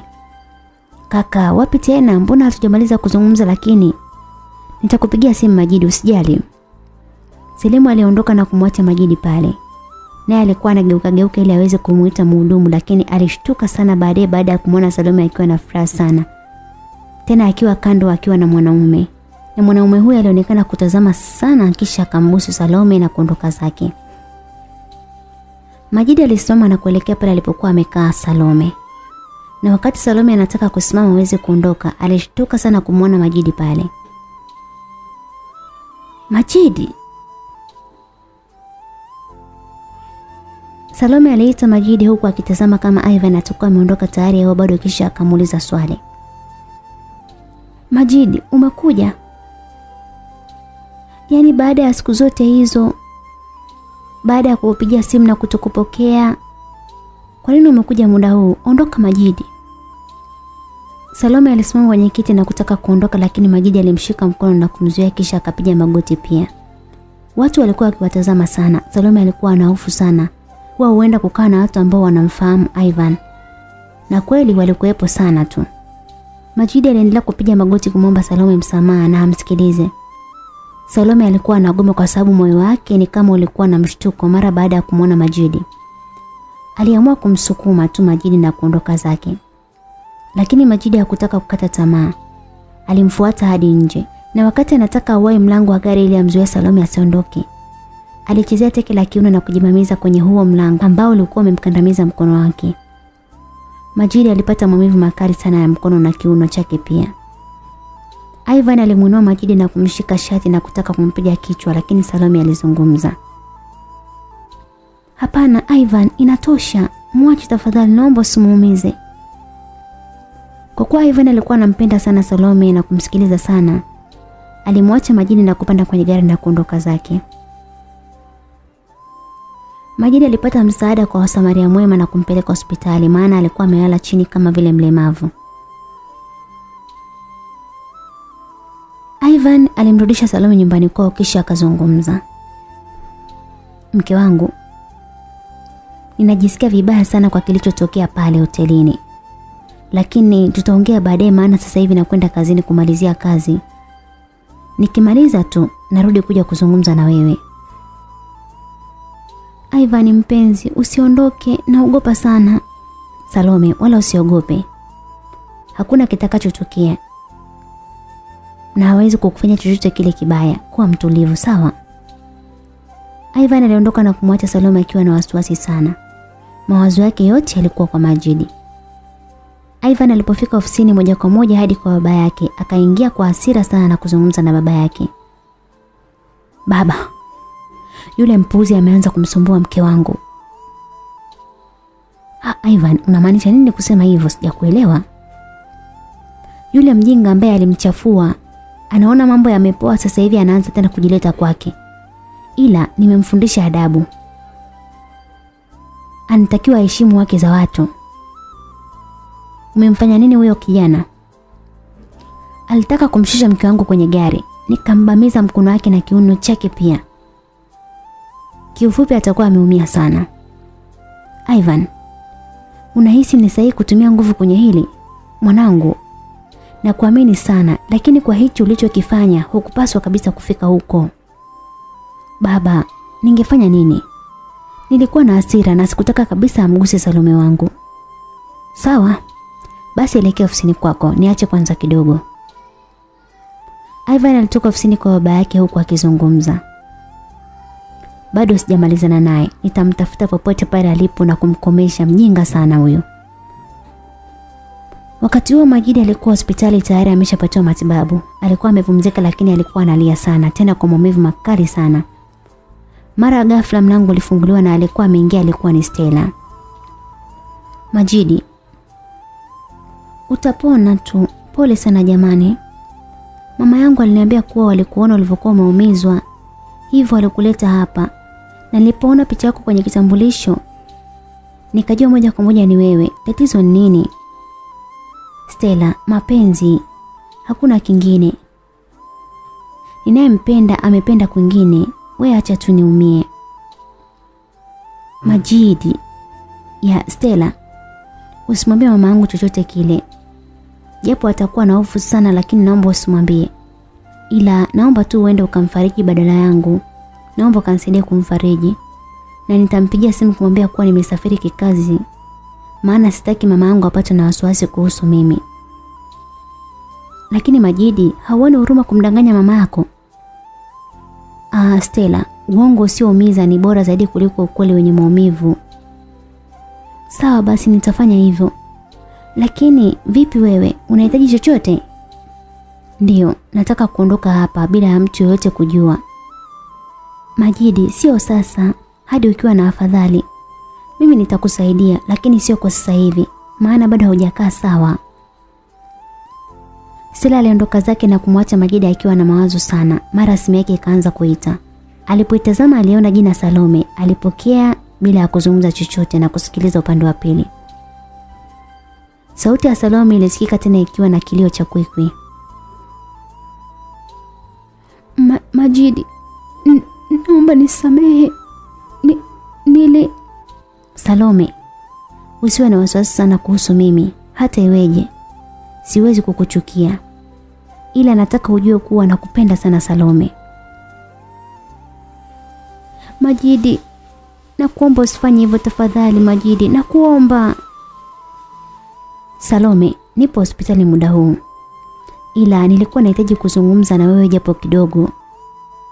Sawa, nakuja kusikiliza. Nitakuwa makini sana mtu yoyote asinione. Karibu sana Salome wangu. Baada ya muda mchache Salome alifika na kumkuta Majidi amekuwa mnyonge sana. Salome alimkumbatia Majidi na kuanza kuzungumza. Pole sana Majidi. Nilishinda kabisa kukusaidia. Usijali mpenzi.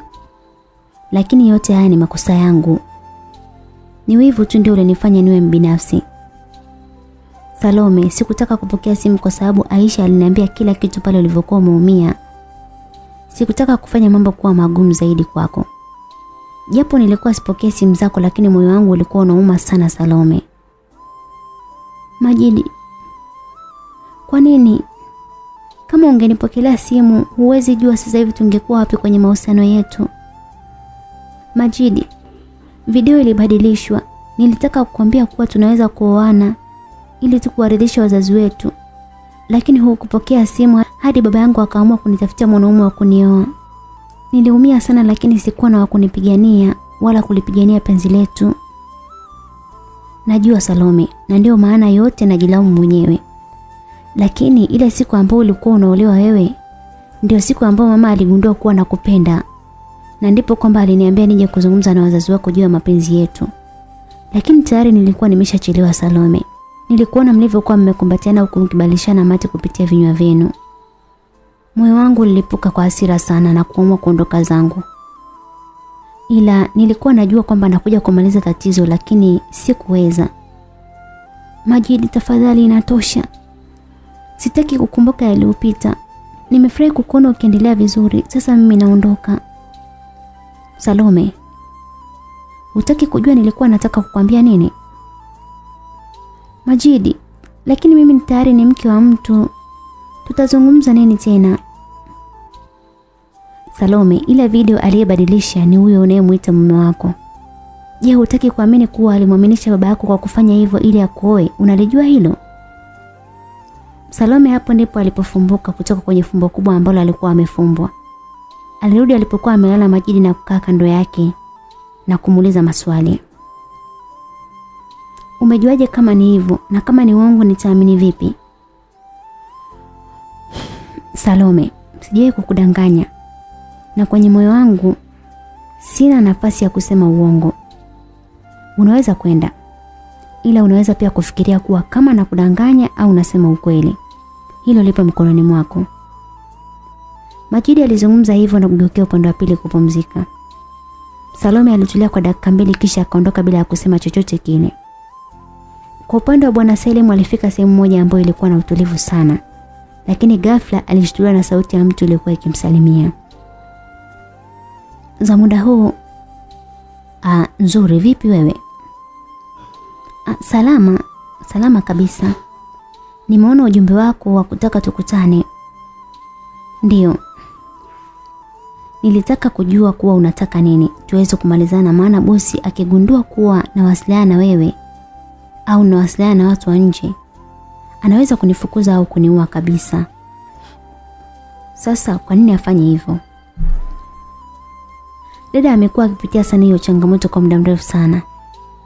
Niliingia kwenye ile nyumba akiwa na ujauzito lakini siku za kufurahi kwake ni kwa mara chache sana kuliko siku ambayo analia. Yaani kwa mwezi anaweza kufurahi mara moja tu au mbili. Lakini mwezi mzima ni kulia. Na siku nyingine inaweza kumaliza hata miezi mitatu kazi yake ni kulia tu. Unamaanisha nini kusema hivyo? Ah, mume wake anampiga sana, yaani hana furaha na ndoa yake. Nakumbuka wakati mimba yake kubwa alimpiga sana hadi alizimia. Akakimbia na kutuacha sisi. Nilimpeleka dada hospitalini na madaktari akamfanyia upasuaji tu. Maana walisema mtoto yupo hatarini zaidi kwa sababu alilala zaidi ya siku tatu bila ya kuamka. Na ndivyo madaktari wakamfanyia upasuaji kumtoa mtoto lakini Mungu hakuwa amemwandikia kifo.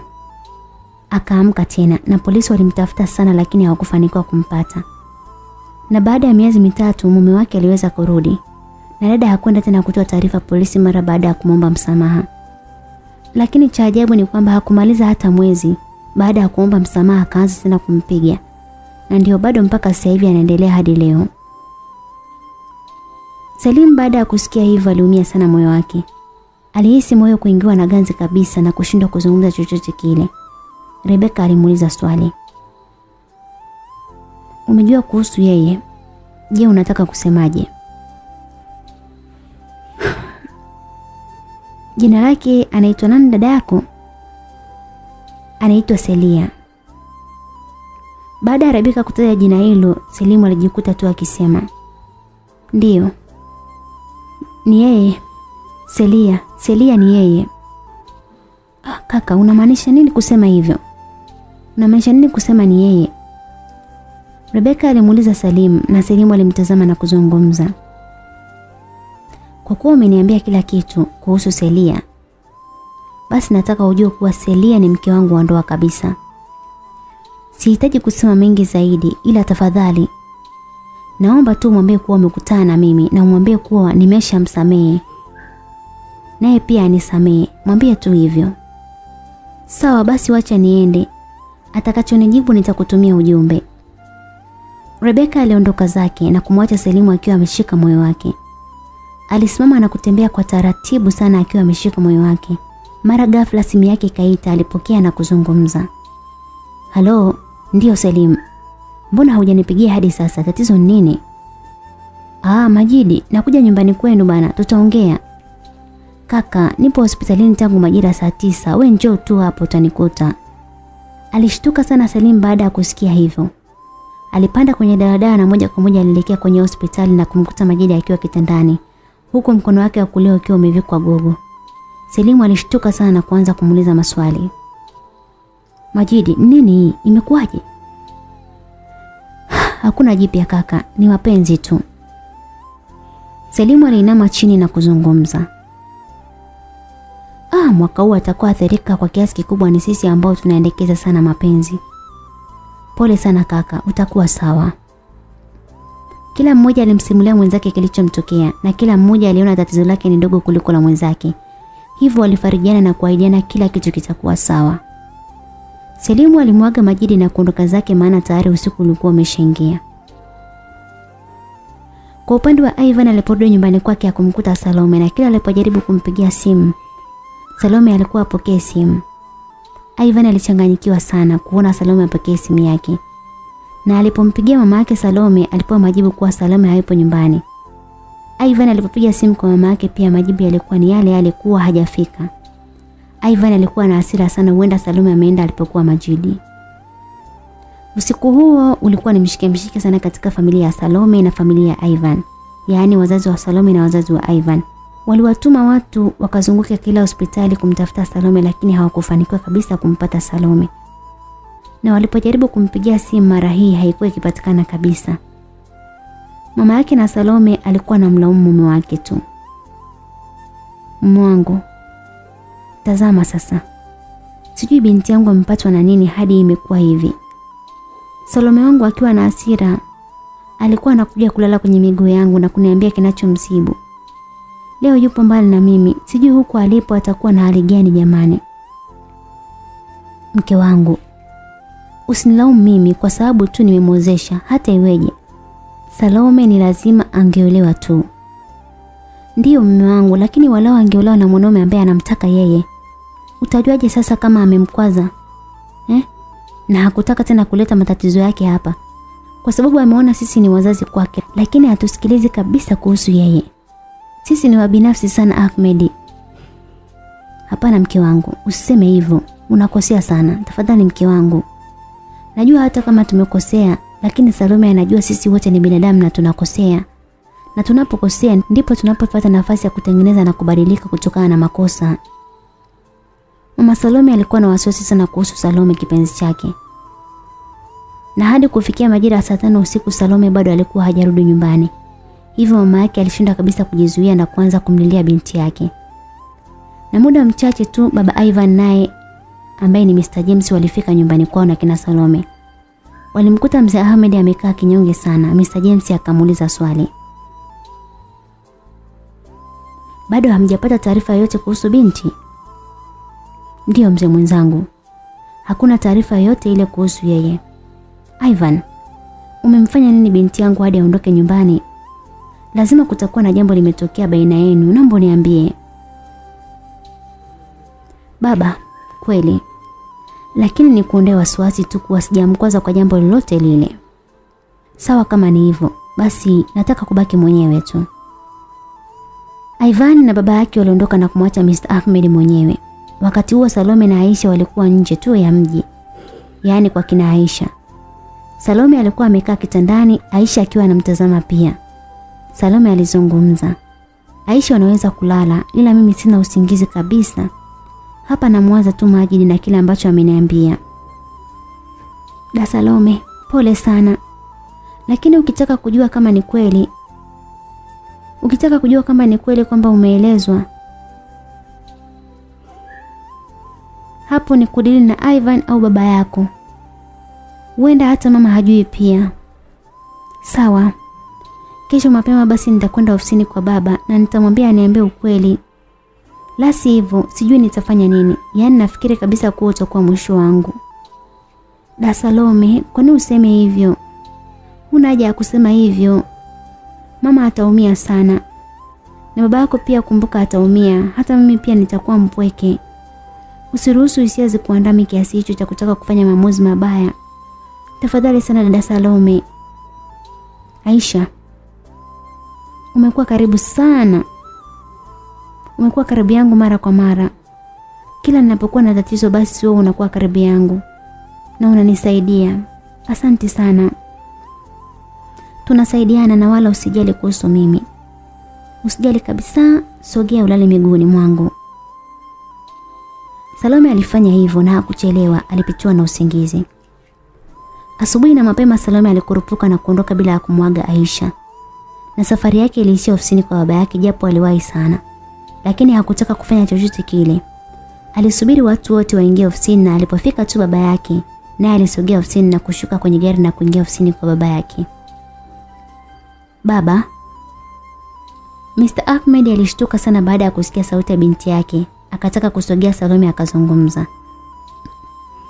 Subiri baba, usinisogelee. Baba, nataka kujua ukweli wote kuhusu video. Usinifiche chochote kile baba, tafadhali. Salome binti yangu, ukweli gani sasa unaotaka kujua? Eti mama. Baba, unanifanya mimi ni mtoto, si ndio? Sasa nataka kukuonyesha kama mimi sio mjinga kiasi hiko. Salome alitoa bastola ambayo alikuwa ameichomeka kwenye viatu na kujiwekea kichwani mwake na kuanza kuzungumza tena. Baba, utaniambia ukweli au utabaki na ukweli na kupoteza binti yako? Salome, tafadhali usifanye hivyo. Nitakwambia kila kitu kwa sababu binti yangu ni wa thamani kuliko chochote kile. Sawa, niambie baba ilikuwaje? Mwanangu, mimi James alinifuata na kuniambia kuwa jina langu litachafuka na kupoteza kila kitu nilichonacho kupitia ile video na kunishawishi kama nitampa mwanae binti yangu basi atasaidia kusafisha jina langu. Aha. Kwa hiyo umekubali kuipoteza furaha yangu kwa sababu ya kumpa mtu mwingine furaha baba. Sawa. Na huyu aliyetengeneza hiyo video ni nani? Ni mimi hapa Salome. Nilitaka kukueleza hili lakini sikutaka kukuumiza. Ila sikutaka kukuoa kwa ajili ya kusafisha jina la baba yako hapana. Ni kwa sababu nimekupenda tu. Salome. Tafadhali usifanye jambo ambalo litatuumiza sisi wote na kupenda mke wangu. Ivan. Sikuwa na imani na wewe tangu siku ya kwanza. Ila nilikubali yote haya kwa sababu ya baba yangu ametaka. Pamoja na shangazi yangu aliniambia kuwa nitakupenda taratibu. Na ikatokea hivyo nikaanza kuwa na wivu na wewe na kuanza kukupenda na kushirikiana na wewe kwa kila kitu. Lakini ona ulichonifanyia. Umeshirikiana na baba yangu kuitokomeza furaha yangu. Sitakuja kukupenda tena kwenye maisha yangu na kuchukia sana Ivan. Baba sikupendi tena. Hapana, hapana Salome, usi sogea usiniguse na kuambia. Na ole wake atakayenifuata kuanzia leo, nitammaliza. Naombeni mniache niishi mwenyewe. Salome alitoka nje akiwa anajilinda kwa bastola ambayo alikuwa ameishika. Baba yake aliwaambia watu wake wasimguse ili tu mwanae asijidhuru. Na hawakumgusa kabisa hadi pale ambapo Salome aliondoka zake. Ivan alitoka ofisini na kuingia kwenye gari na kuanza kumfuatilia Salome lakini hakufanikiwa kumuona alipoelekea. Na safari yake iliishia hospitalini ambapo alifika na kumchukua maji na kuondoka naye. Na mara hii hawakurudi tena nyumbani kwao Aisha. Walienda sehemu nyingine kabisa ambao walikuwa wenyewe tu.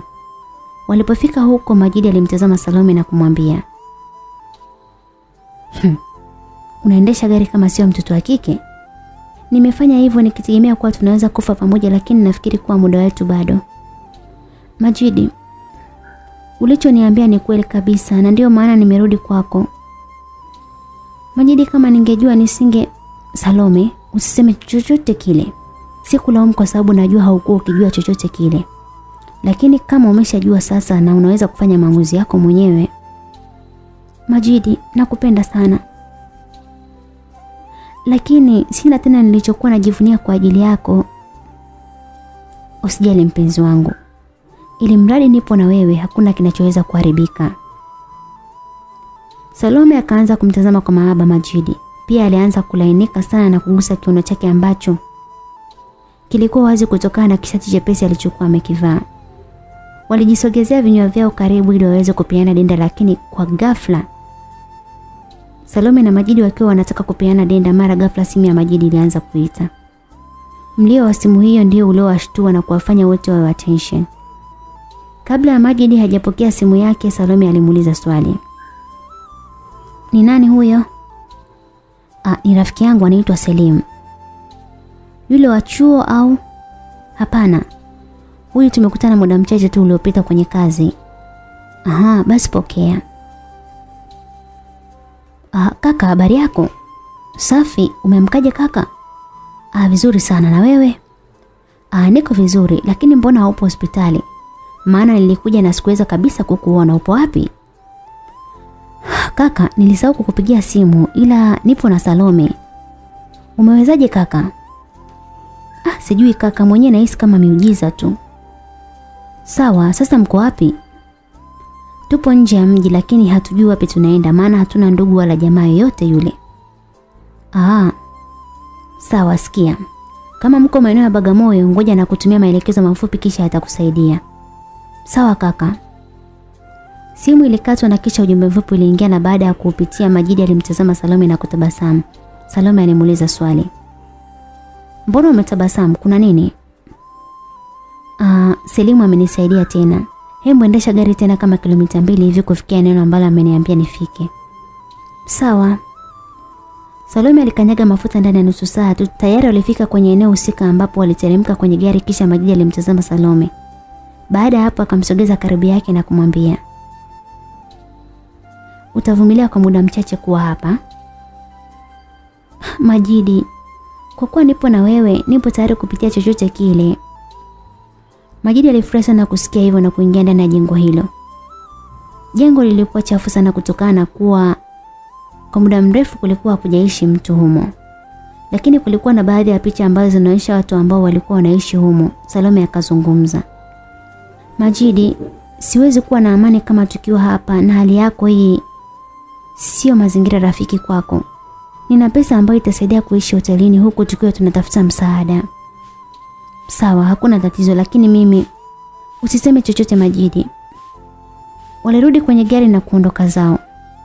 Walitafuta hoteli ya karibu na kulipia kisha kuingia ndani. Salome alikuwa anasisimka kila wakati, ni wazi kuwa alikuwa anataka dozi. Majidi naye hakutaka kumwekea kona kona maana hata yeye alikuwa ameshamisi sana. Mchezo ulianza mara moja pasi na kuwa na refa. Japo walikuwa waangalifu sana ili waweze kulinda mkono wa Majidi. Kwa upande wa Stella na mama yake na Majidi, Stella alikuwa kila siku anamdanganya na aliposikia kuwa Majidi ametoweka hospitali, aliamua kumwambia mama yake Majidi kwa hivyo aliokuwa nao na hasira ndani yake kuwa Majidi alijeruhiwa na bwana Ivan.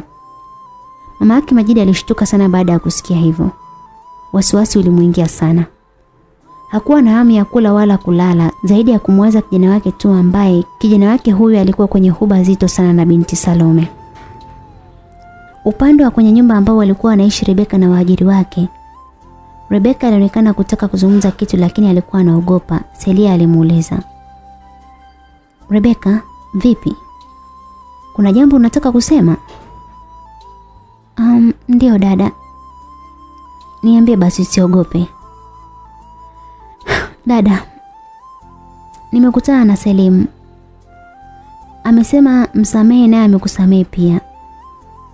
Selia alishtuka sana baada ya kusikia hivyo. Na muda huo huo mlango ulifunguliwa tena alifungua mlango kwa hasira sana na kusema Ina maana kuna mjinga ambaye mlikoseana na amemtuma huyo mjinga aje kukupa salamu? Sasa ngoja niwaonyeshe yote leo. Mwanaume huyo akatili akiwa anatoa mkanda kiunoni mwake na kuanza kumfata Rebeka ili aweze kumpiga. Rebeka alizunguka nyuma ya Celia na mwanaume huyo alipurusha huo mkanda, Celia alishika huo mkanda kwa nguvu sana na kuvuta na kuuachia kwa nguvu. Ulimfanya mume wake anguke kama mzigo. Hapo alizidi kupandwa na hasira zaidi. Alisimama na kumshika Celia ili aweze kumpeleka chumbani. Maana huwa akimpiga huwa alikuwa akimfungia chumbani kwake. Wakati anamvuta chumbani ghafla mlango ulifunguliwa akaingia bwana Selimu akiwa na polisi. Na mwanaume huyo alimwacha Selia ambaye Selia aliinamisha uso wake chini kwa aibu sana. Polisi walimfunga pingu mume wake Selia na kuondoka naye. Alihisi miguu yake Selia ikimuisha nguvu kabisa. Alitaka kukaa chini lakini Selimu alimwahi na kumshika na kumkumbatia huku akilia kwa uchungu sana. Selia, binti yako amekuwa sana. Alikuwa anauliza kuhusu wewe tangu zamani lakini nikamdanganya kuwa umeondoka kikazi kwa sababu sikutaka akuchukie. Japo alinisumbua mara kadhaa kutaka kuzungumza na wewe, lakini nili Selim Siamini kama umeniokoa kwa mara nyingine tena. Nisamehe sana kwa kukuumiza. Nafsi yangu inajilaumu sana kwa kufanya nilichokufanyia. Nilihisi haya maisha ndio nimeachagua kwa sababu ya tamaa lakini sikujua kama kuishi na mwanaume mwenye pesa na hakuthamini ni hatari sana. Huwezi kupata amani kuwa naye, ni bora kuishi na mwanaume wa hali ya chini. Selim, nilikudharau sana lakini umeweza kumtunza binti yangu. Ah, Selia, usilie sasa. Kila kitu anapanga Muumba, hivyo usijali. Usijali kuhusu hilo, tunaondoka sasa. Selimu alimbeba mtoto wa Selia na kumshika mkono Selia na Rebeka akawa anafuata pia. Walipanda kwenye taksi hadi nyumbani kwake na walipofungua tu mlango, binti yake Selimu alisimama na kudhani ni baba yake pamoja na anko wake Majidi. Lakini akaona sura mpya kabisa, alishtuka sana na kumuuliza baba yake. Baba, nani hawa? Ah, malikia wangu, hebu peleka begi ndani. Alivyorejea tu kwa baba yake, baba yake alimwambia, Yusra mwanangu, ulikuwa unamuulizia sana mama yako kila siku. Na leo mama yako amerudi. Amerudi kutoka kwenye kazi zake na kuja kujumuika na sisi pamoja. Yusra alishtuka sana baada ya kusikia hivyo. Furaha yake iliongezeka usoni mwake na kumkumbatia Selia kwa furaha sana. Bibi yake alimtazama Selim na kumuuliza swali. Nani huyu? Mbona mgeni na usemi kitu? Mama, ni mke wangu mama Yusra. Amerudi tena kutoka kwenye safari yake. Selia alimpa mkono mama yake Selim kisha wakatoka nje kuzungumza mawili matatu. Selim, kwa nini umewadanganya? Unahisi ni sahihi? Ah, Selia, inatosha bwana. Usiwaze kuhusu chochote kile. Furaha yangu ni kuona binti yangu ana furaha na mama yangu pia. Niachie mimi kila kitu, sawa? Sawa, lakini najisikia vibaya sana kuishi kwenye uongo huo. Uh, usijali. Selimu na Selia walipata muda mwingi wa kuzungumza juu ya yaliyotokea siku za nyuma na pia kuzungumza kuhusu hisia zao. Na watu walionekana kupendana sana, hivyo walikubaliana kufunga ndoa lakini Selia alizungumza. Selim, samani. Naweza kukwambia kitu? Ndiyo, niambie tu usiogope. Nipo hapa Selimu wako na kusikiliza. Jason ni kijana wako. Niliondoka hapa nikiwa tayari mjamzito wa miezi miwili. Na hii pia ni moja ya sababu ambayo ilinifanya niondoke kwa sababu ulikuwa huna kipato cha kutosha kumlea mtoto na mimba pia. Ila nisamee sana kuweza kukutenga na kijana wako pia. Celia usijali. Nilipomwona kwa mara ya kwanza tu nilishajua hilo kwa sababu amefanana sana na mimi pamoja na Yusra pia. Selim, naongea ukweli. Najua Selia hata mimi sitanii. Nilikuona ukiwa unatapika mara kwa mara japo ulinificha. Lakini niliweza kugundua na nilipokota kipimo cha mimi pale ulipokuwa umekitupa. Na nilipoenda kuuliza kwa ule daktari akaniambia kwamba tayari una mimba na ina miezi miwili. Hivyo sikuwa na shaka na hilo, japo nilikuwa na hofu sana na wewe. Selia alifurahi sana hadi machozi yalikuwa yanamtoka kwa furaha aliyokuwa nao kisha akazungumza. Asante sana Selim. Ulikuwa unanijali sana. Lakini tangu nilipotoa mguu wangu kwenye ardhi ambayo tulikuwa tunaishi pamoja, matatizo yakaniandama, nikakosa uelekeo kabisa wa maisha. Sikuwa na furaha tena. Ah, usijali mpenzi, kila kitu kimeisha sasa. Wakiwa wamekumbatiana, Rebeka alisogea na kumwambia Selia, "Dada, simu yako inaita." Selia alipokea na baada ya kusikiliza maongezi ya upande wa pili anaonekana kuwa na mshangao wa hali ya juu sana. Alidondosha simu yake chini huku sauti ya upande wa pili ikisikika ikiendelea kuzungumza. Halo? Halo? Baada ya Selia kudondosha simu chini, Selimu aliokota ile simu na tayari ilikuwa imekatwa. Lakini ilianza kuita tena. Selia alimpa Rebeka ile simu na Rebeka alianza kuzungumza. Samahani, dada Selia hayupo sawa, anajisikia vibaya sana kwa sasa. Je, ulikuwa unasemaje? Baada ya kusikiliza upande wa pili na simu kukatwa, Rebeka alitabasamu na Selia akamuuliza. Rebeka, niambie kama alichokwambia ni kile alichoniambia. Rebeka alimtazama Selim na Selim akamuuliza swali. Rebeka, kuna nini? Kaka Selim, aliyepiga hapa ni mwanasheria wa babake na Jaden, amesema kuwa kila kitu kipo chini ya Jaden kama mmiliki mkuu wa mali za baba yake. Maana yake amehukumiwa kifungo cha miaka 23 jela. Hivyo hahitaji mali zake zichukuliwe tu na ndugu zake. Selia alimtazama Selimu aone atasemaje. Selimu mwenyewe akamuuliza Selia. Unasemaje Selia? Ah, Selim. Naomba ukubali hili ili watoto wetu waweze kusoma vizuri tafadhali. Najua utakuwa unawaza vingi lakini sina jinsi. Selia, Selim, tafadhali. Selimu alikuwa kama vile hajapenda lakini Selia alijitahidi sana kumbembeleza hadi Selimu akaona tu akubali. Baada ya mwezi mmoja tu maisha yao tayari yalibadilika na waliishi kwa furaha sana. Japo Yusra alikuwa hataki kuwa mbali na mama yake kwa kuhofia kwamba ataondoka tena. Na mama yake akamwondoa wasiwasi kuwa asijali. Kwa upande wa Majid na Salome baada ya kukaa nje ya mji kwa muda wa wiki mbili, waliamua kurudi kwa sababu hali ya Majidi tayari ilikuwa imeshaanza kutegemea kidogo. Walifika nyumbani kwao na Majidi. Mlio wa gari ulimshtua mama Majidi na Stella ambao walikuwa hawana taarifa yoyote ambapo walikuwa Majidi. Mama yake na Majidi alipofungua mlango alimuona mwanaye, alifurahi sana na kwenda kumkumbatia mwanaye kwa furaha sana. Lakini furaha yake ilikatishwa baada ya kumuona Salome upande wa pili. Salome alisogea alipo mama yake na Majidi na kusaka kumshika mkono kwa lengo la kumsalimia. Mama yake na Majidi hakuweza kabisa kukubali. Majidi ilibidi azungumze. Mama, itakubidi tu kubali kile unachokiona mama. Kwa sababu Salome ameujua ukweli kuhusu ile video. Na inawezekana hata aliyeturekodi alikuwa ametumwa na huyu aliyekuwa amemwoa. Hivyo Salome ameamua kuwa na mimi na kwa kuwa nampenda sana basi nipo naye. Stella aliumia sana baada ya kusikia vile. Aliingia ndani na kuchukua mkoba wake na kuondoka. Majidi alimshika mkono Salome na kuingia ndani akifuatiwa na mama yao pia. Kwa upande wa Ivan alikuwa na haa sana kumtafuta Majidi na watu wake ambao walimpa taarifa kuwa Salome amerejea mjini na sehemu aliyokuwepo pia. Na wakati wanataka kukaa kwenye viti mara mlango ulifunguliwa. Ivan aliingia ndani bila ya hodi. Salome alipomwona Ivan, alisimama mbele ya Majidi na kuzungumza na Ivan. Umefuata nini hapa? Mke wangu, nimekufuata wewe. Hujui kama bila ya wewe mimi nisingefika hapa? Ivan, mimi na wewe tumeshamalizana. Na usichokijua ni kwamba sina chochote nilichosahau kwako. Ninachosubiri tu hapa ni talaka yangu. Najua nilijitahidi sana kulazimisha kukupenda, lakini sikujua kuwa naishi na chui aliyejivika ngozi ya kondoo. Ivan, naku Kabla ya kumaliza kuzungumza Salome alijisikia kichefuchefu na kutoka nje. Majidi alimfuata na Ivan pia alimfuata. Majidi na Ivan wote walizungumza pamoja. Mpenzi, twende hospitali kama unajisikia vibaya sana.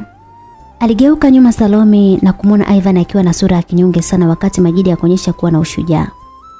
Salome alisimama na kuzungumza. Majidi, samahani, naomba utupishe. Majidi alichukia sana baada ya kusikia Salome amesema hivyo na alivyoingia ndani mama yake akataka kuzungumza lakini Majidi hakutaka kabisa kumsikiliza mama yake. Ivan, Najua nilianza kukupenda lakini niliposikia kuhusu ulichokifanya nimekuchukia. Hata kukuona sitamani tena kwenye maisha yangu. Nilijipa imani kuwa nitakuwa na wewe milele ila siwezi. Nahitaji kuwa na mtu ambaye ameuteka moyo wangu. Ivan, kama unanipenda basi niache niishi na furaha na mtu ambaye nampenda tafadhali sana. Ivan alikuwa ametazama chini tu na alipomaliza kuzungumza Salome alimtazama usoni. Macho yake yalikuwa yamebadilika sana kwa kulia kisha akamwambia. Ni kweli. Nilikuwa nakuja kujaribu kama ungeweza kunipa nafasi ya kujielezea. Ila nimekosa. Basi wacha nifanye kile ambacho nilikuwa nakifikiria kukifanya. Nilipokuwa na kutafuta usiku na mchana. Sikutaka uzurike na chochote nakupenda na ninahitaji uishi kwa furaha sana na ninatamka kuanzia leo wewe sio mke wangu tena na kuacha kwa talaka tatu kabisa na nitathibitisha kwa njia ya ujumbe pia naomba unisamehe sana kwa kukufosi kunipenda ikiwa nina machafu nyumba yangu kwa heri Ivan aligeuka na kuondoka zake. Salome alimtazama sana Ivan hadi alipoondoka. Na kisha Salome aliingia ndani na kumwambia Majid. Majid, naenda nyumbani mara moja. Kisha nitakupigia simu. Salome nyumbani? Tayari Salome alishapanda kwenye gari na kuondoka zake. Aliwasha simu na kumpigia Aisha na kumwambia kwamba asiende popote. Yeye anaenda na Aisha. Alitoa taarifa kwa wazazi wake na baada ya muda mfupi Salome alifika nyumbani kwao na kuingia akiwa na furaha sana. Mr. Ahmed alisimama baada ya kumwona binti yake na mama yake aliwahi kumkumbatia na kumuuliza. Salome, ulikuwa wapi muda wote huo wakati tunakutafuta jamani? Usijali mama, nipo sawa na nina taarifa njema. Ivan amenipa talaka mama. Na sasa nataka kuolewa na Majid. Mama yake alimtazama baba yake Salome. Mzee Ahmed alitaka kuondoka lakini ghafla mlango ulifunguliwa na Mr. James. Mr. James aliingia huku akiwa amelewa machozi. Alianza kumlaumu Mr. Ahmed na baada ya kumuuliza kwa nini yupo hivyo, alitoa karatasi ambayo ilikuwa imeandikwa. Baba na mama yangu, nimemtariki Salome kwa moyo mmoja. Naomba msije kumsumbua kwa namna yoyote ile wala msiwe na uadui dhidi yao. Nitakuwa na furaha sana mkimwacha aishi na furaha. Japo nimefanya maamuzi mabaya lakini msijali kuhusu hilo. Siwezi kuishi bila Salome wala kumwona akiwa na mwanaume mwingine kabisa. Japo makosa ni yangu ila sina budi kuwaomba radhi na wapenda sana. Salome, ina maana umeshindwa kumsikiliza mwanangu na kumsamehe kabisa sio? Salome, japo nimesoma hii barua na Ivan ametaka nikuache, ila siwezi mpaka nitakapomwona kijana wangu. Huwezi kuishi kwa amani bila kumwona mwanangu. Salome alikuwa na wasiwasi sana na kumwomba Mungu Ivan arudi nyumbani kwao. Zilipita wiki tatu ambapo Ivan alikutwa amefariki kwenye gari akiwa ameshika dawa mkononi mwake. Mama na baba yake walilia sana lakini walimpumzisha kwenye nyumba yake ya milele. Na Mr. James alimwahidi kijana wake kwamba hatomsumbua tena Salome. Na baada ya kumaliza harakati za mazishi bwana James na Mr. Ahmed waliweza kuungana kwa pamoja na kudumisha urafiki wao. Kwa upande wa Salome alikuwa ni mjamzito na hakuwa na sababu yoyote ya hiyo mimba kumpa Majid bali alimsingizia kuwa ilikuwa ni mimba ya Ivan. Alifanya hivyo ili kuwafariji wazazi wa Ivan. Na baada ya kusikia taarifa hizo walifurahi sana kumpata mbadala wa Ivan. Kwa upande wa Stella na Emma waliweza kumaliza tofauti zao mara baada ya Stella kuona Majid alikuwa serious na penzi la Salome. Hivyo alijua wazi kuwa hawezi kupata nafasi kwa Majid. Aliamua kumsamehe Emma na kufunga ndoa pia. Hivyo naye akawa ni rafiki wa Majid pia. Maisha yao yalibadilika na urafiki ukawa unazidi zaidi ya undugu. Waliishi kwa ushirikiano kwa kila kitu. Japo Majid alikuwa akiumia sana na kuhisi huenda Ivan Junior ni wake. Na ilikuwa wazi ni wake lakini Salome hakutaka kabisa kumhakikishia hilo. Zaidi tu ya kumzalia watoto wengine zaidi. Salim na familia yake ilikuwa na furaha sana na hata bwana Majidi pia walikuwa na furaha sana. Maana waliishi kama ndugu. Walikuwa wakijuliana hali kwa kila kitu na pia walikuwa wakisaidiana kwa kutegemeana sana. Mapenzi si uadui. Hata kama unampenda basi mwache awe na furaha. Kwa sababu akiwa na furaha hata wewe atakuwa anakuambia upate furaha kama yeye. Ukifosi mapenzi kwa mtu asiyekupenda utaumia na kuishia tu kulia. Kila siku utakuwa unapoteza muda wako. Achia nafasi wengine wapate fursa na wewe yako itakuja. Simulizi yetu nzuri hii ilikuwa inaenda kwa jina la You Are The One. Asanteni kwa kunisikiliza na bye bye.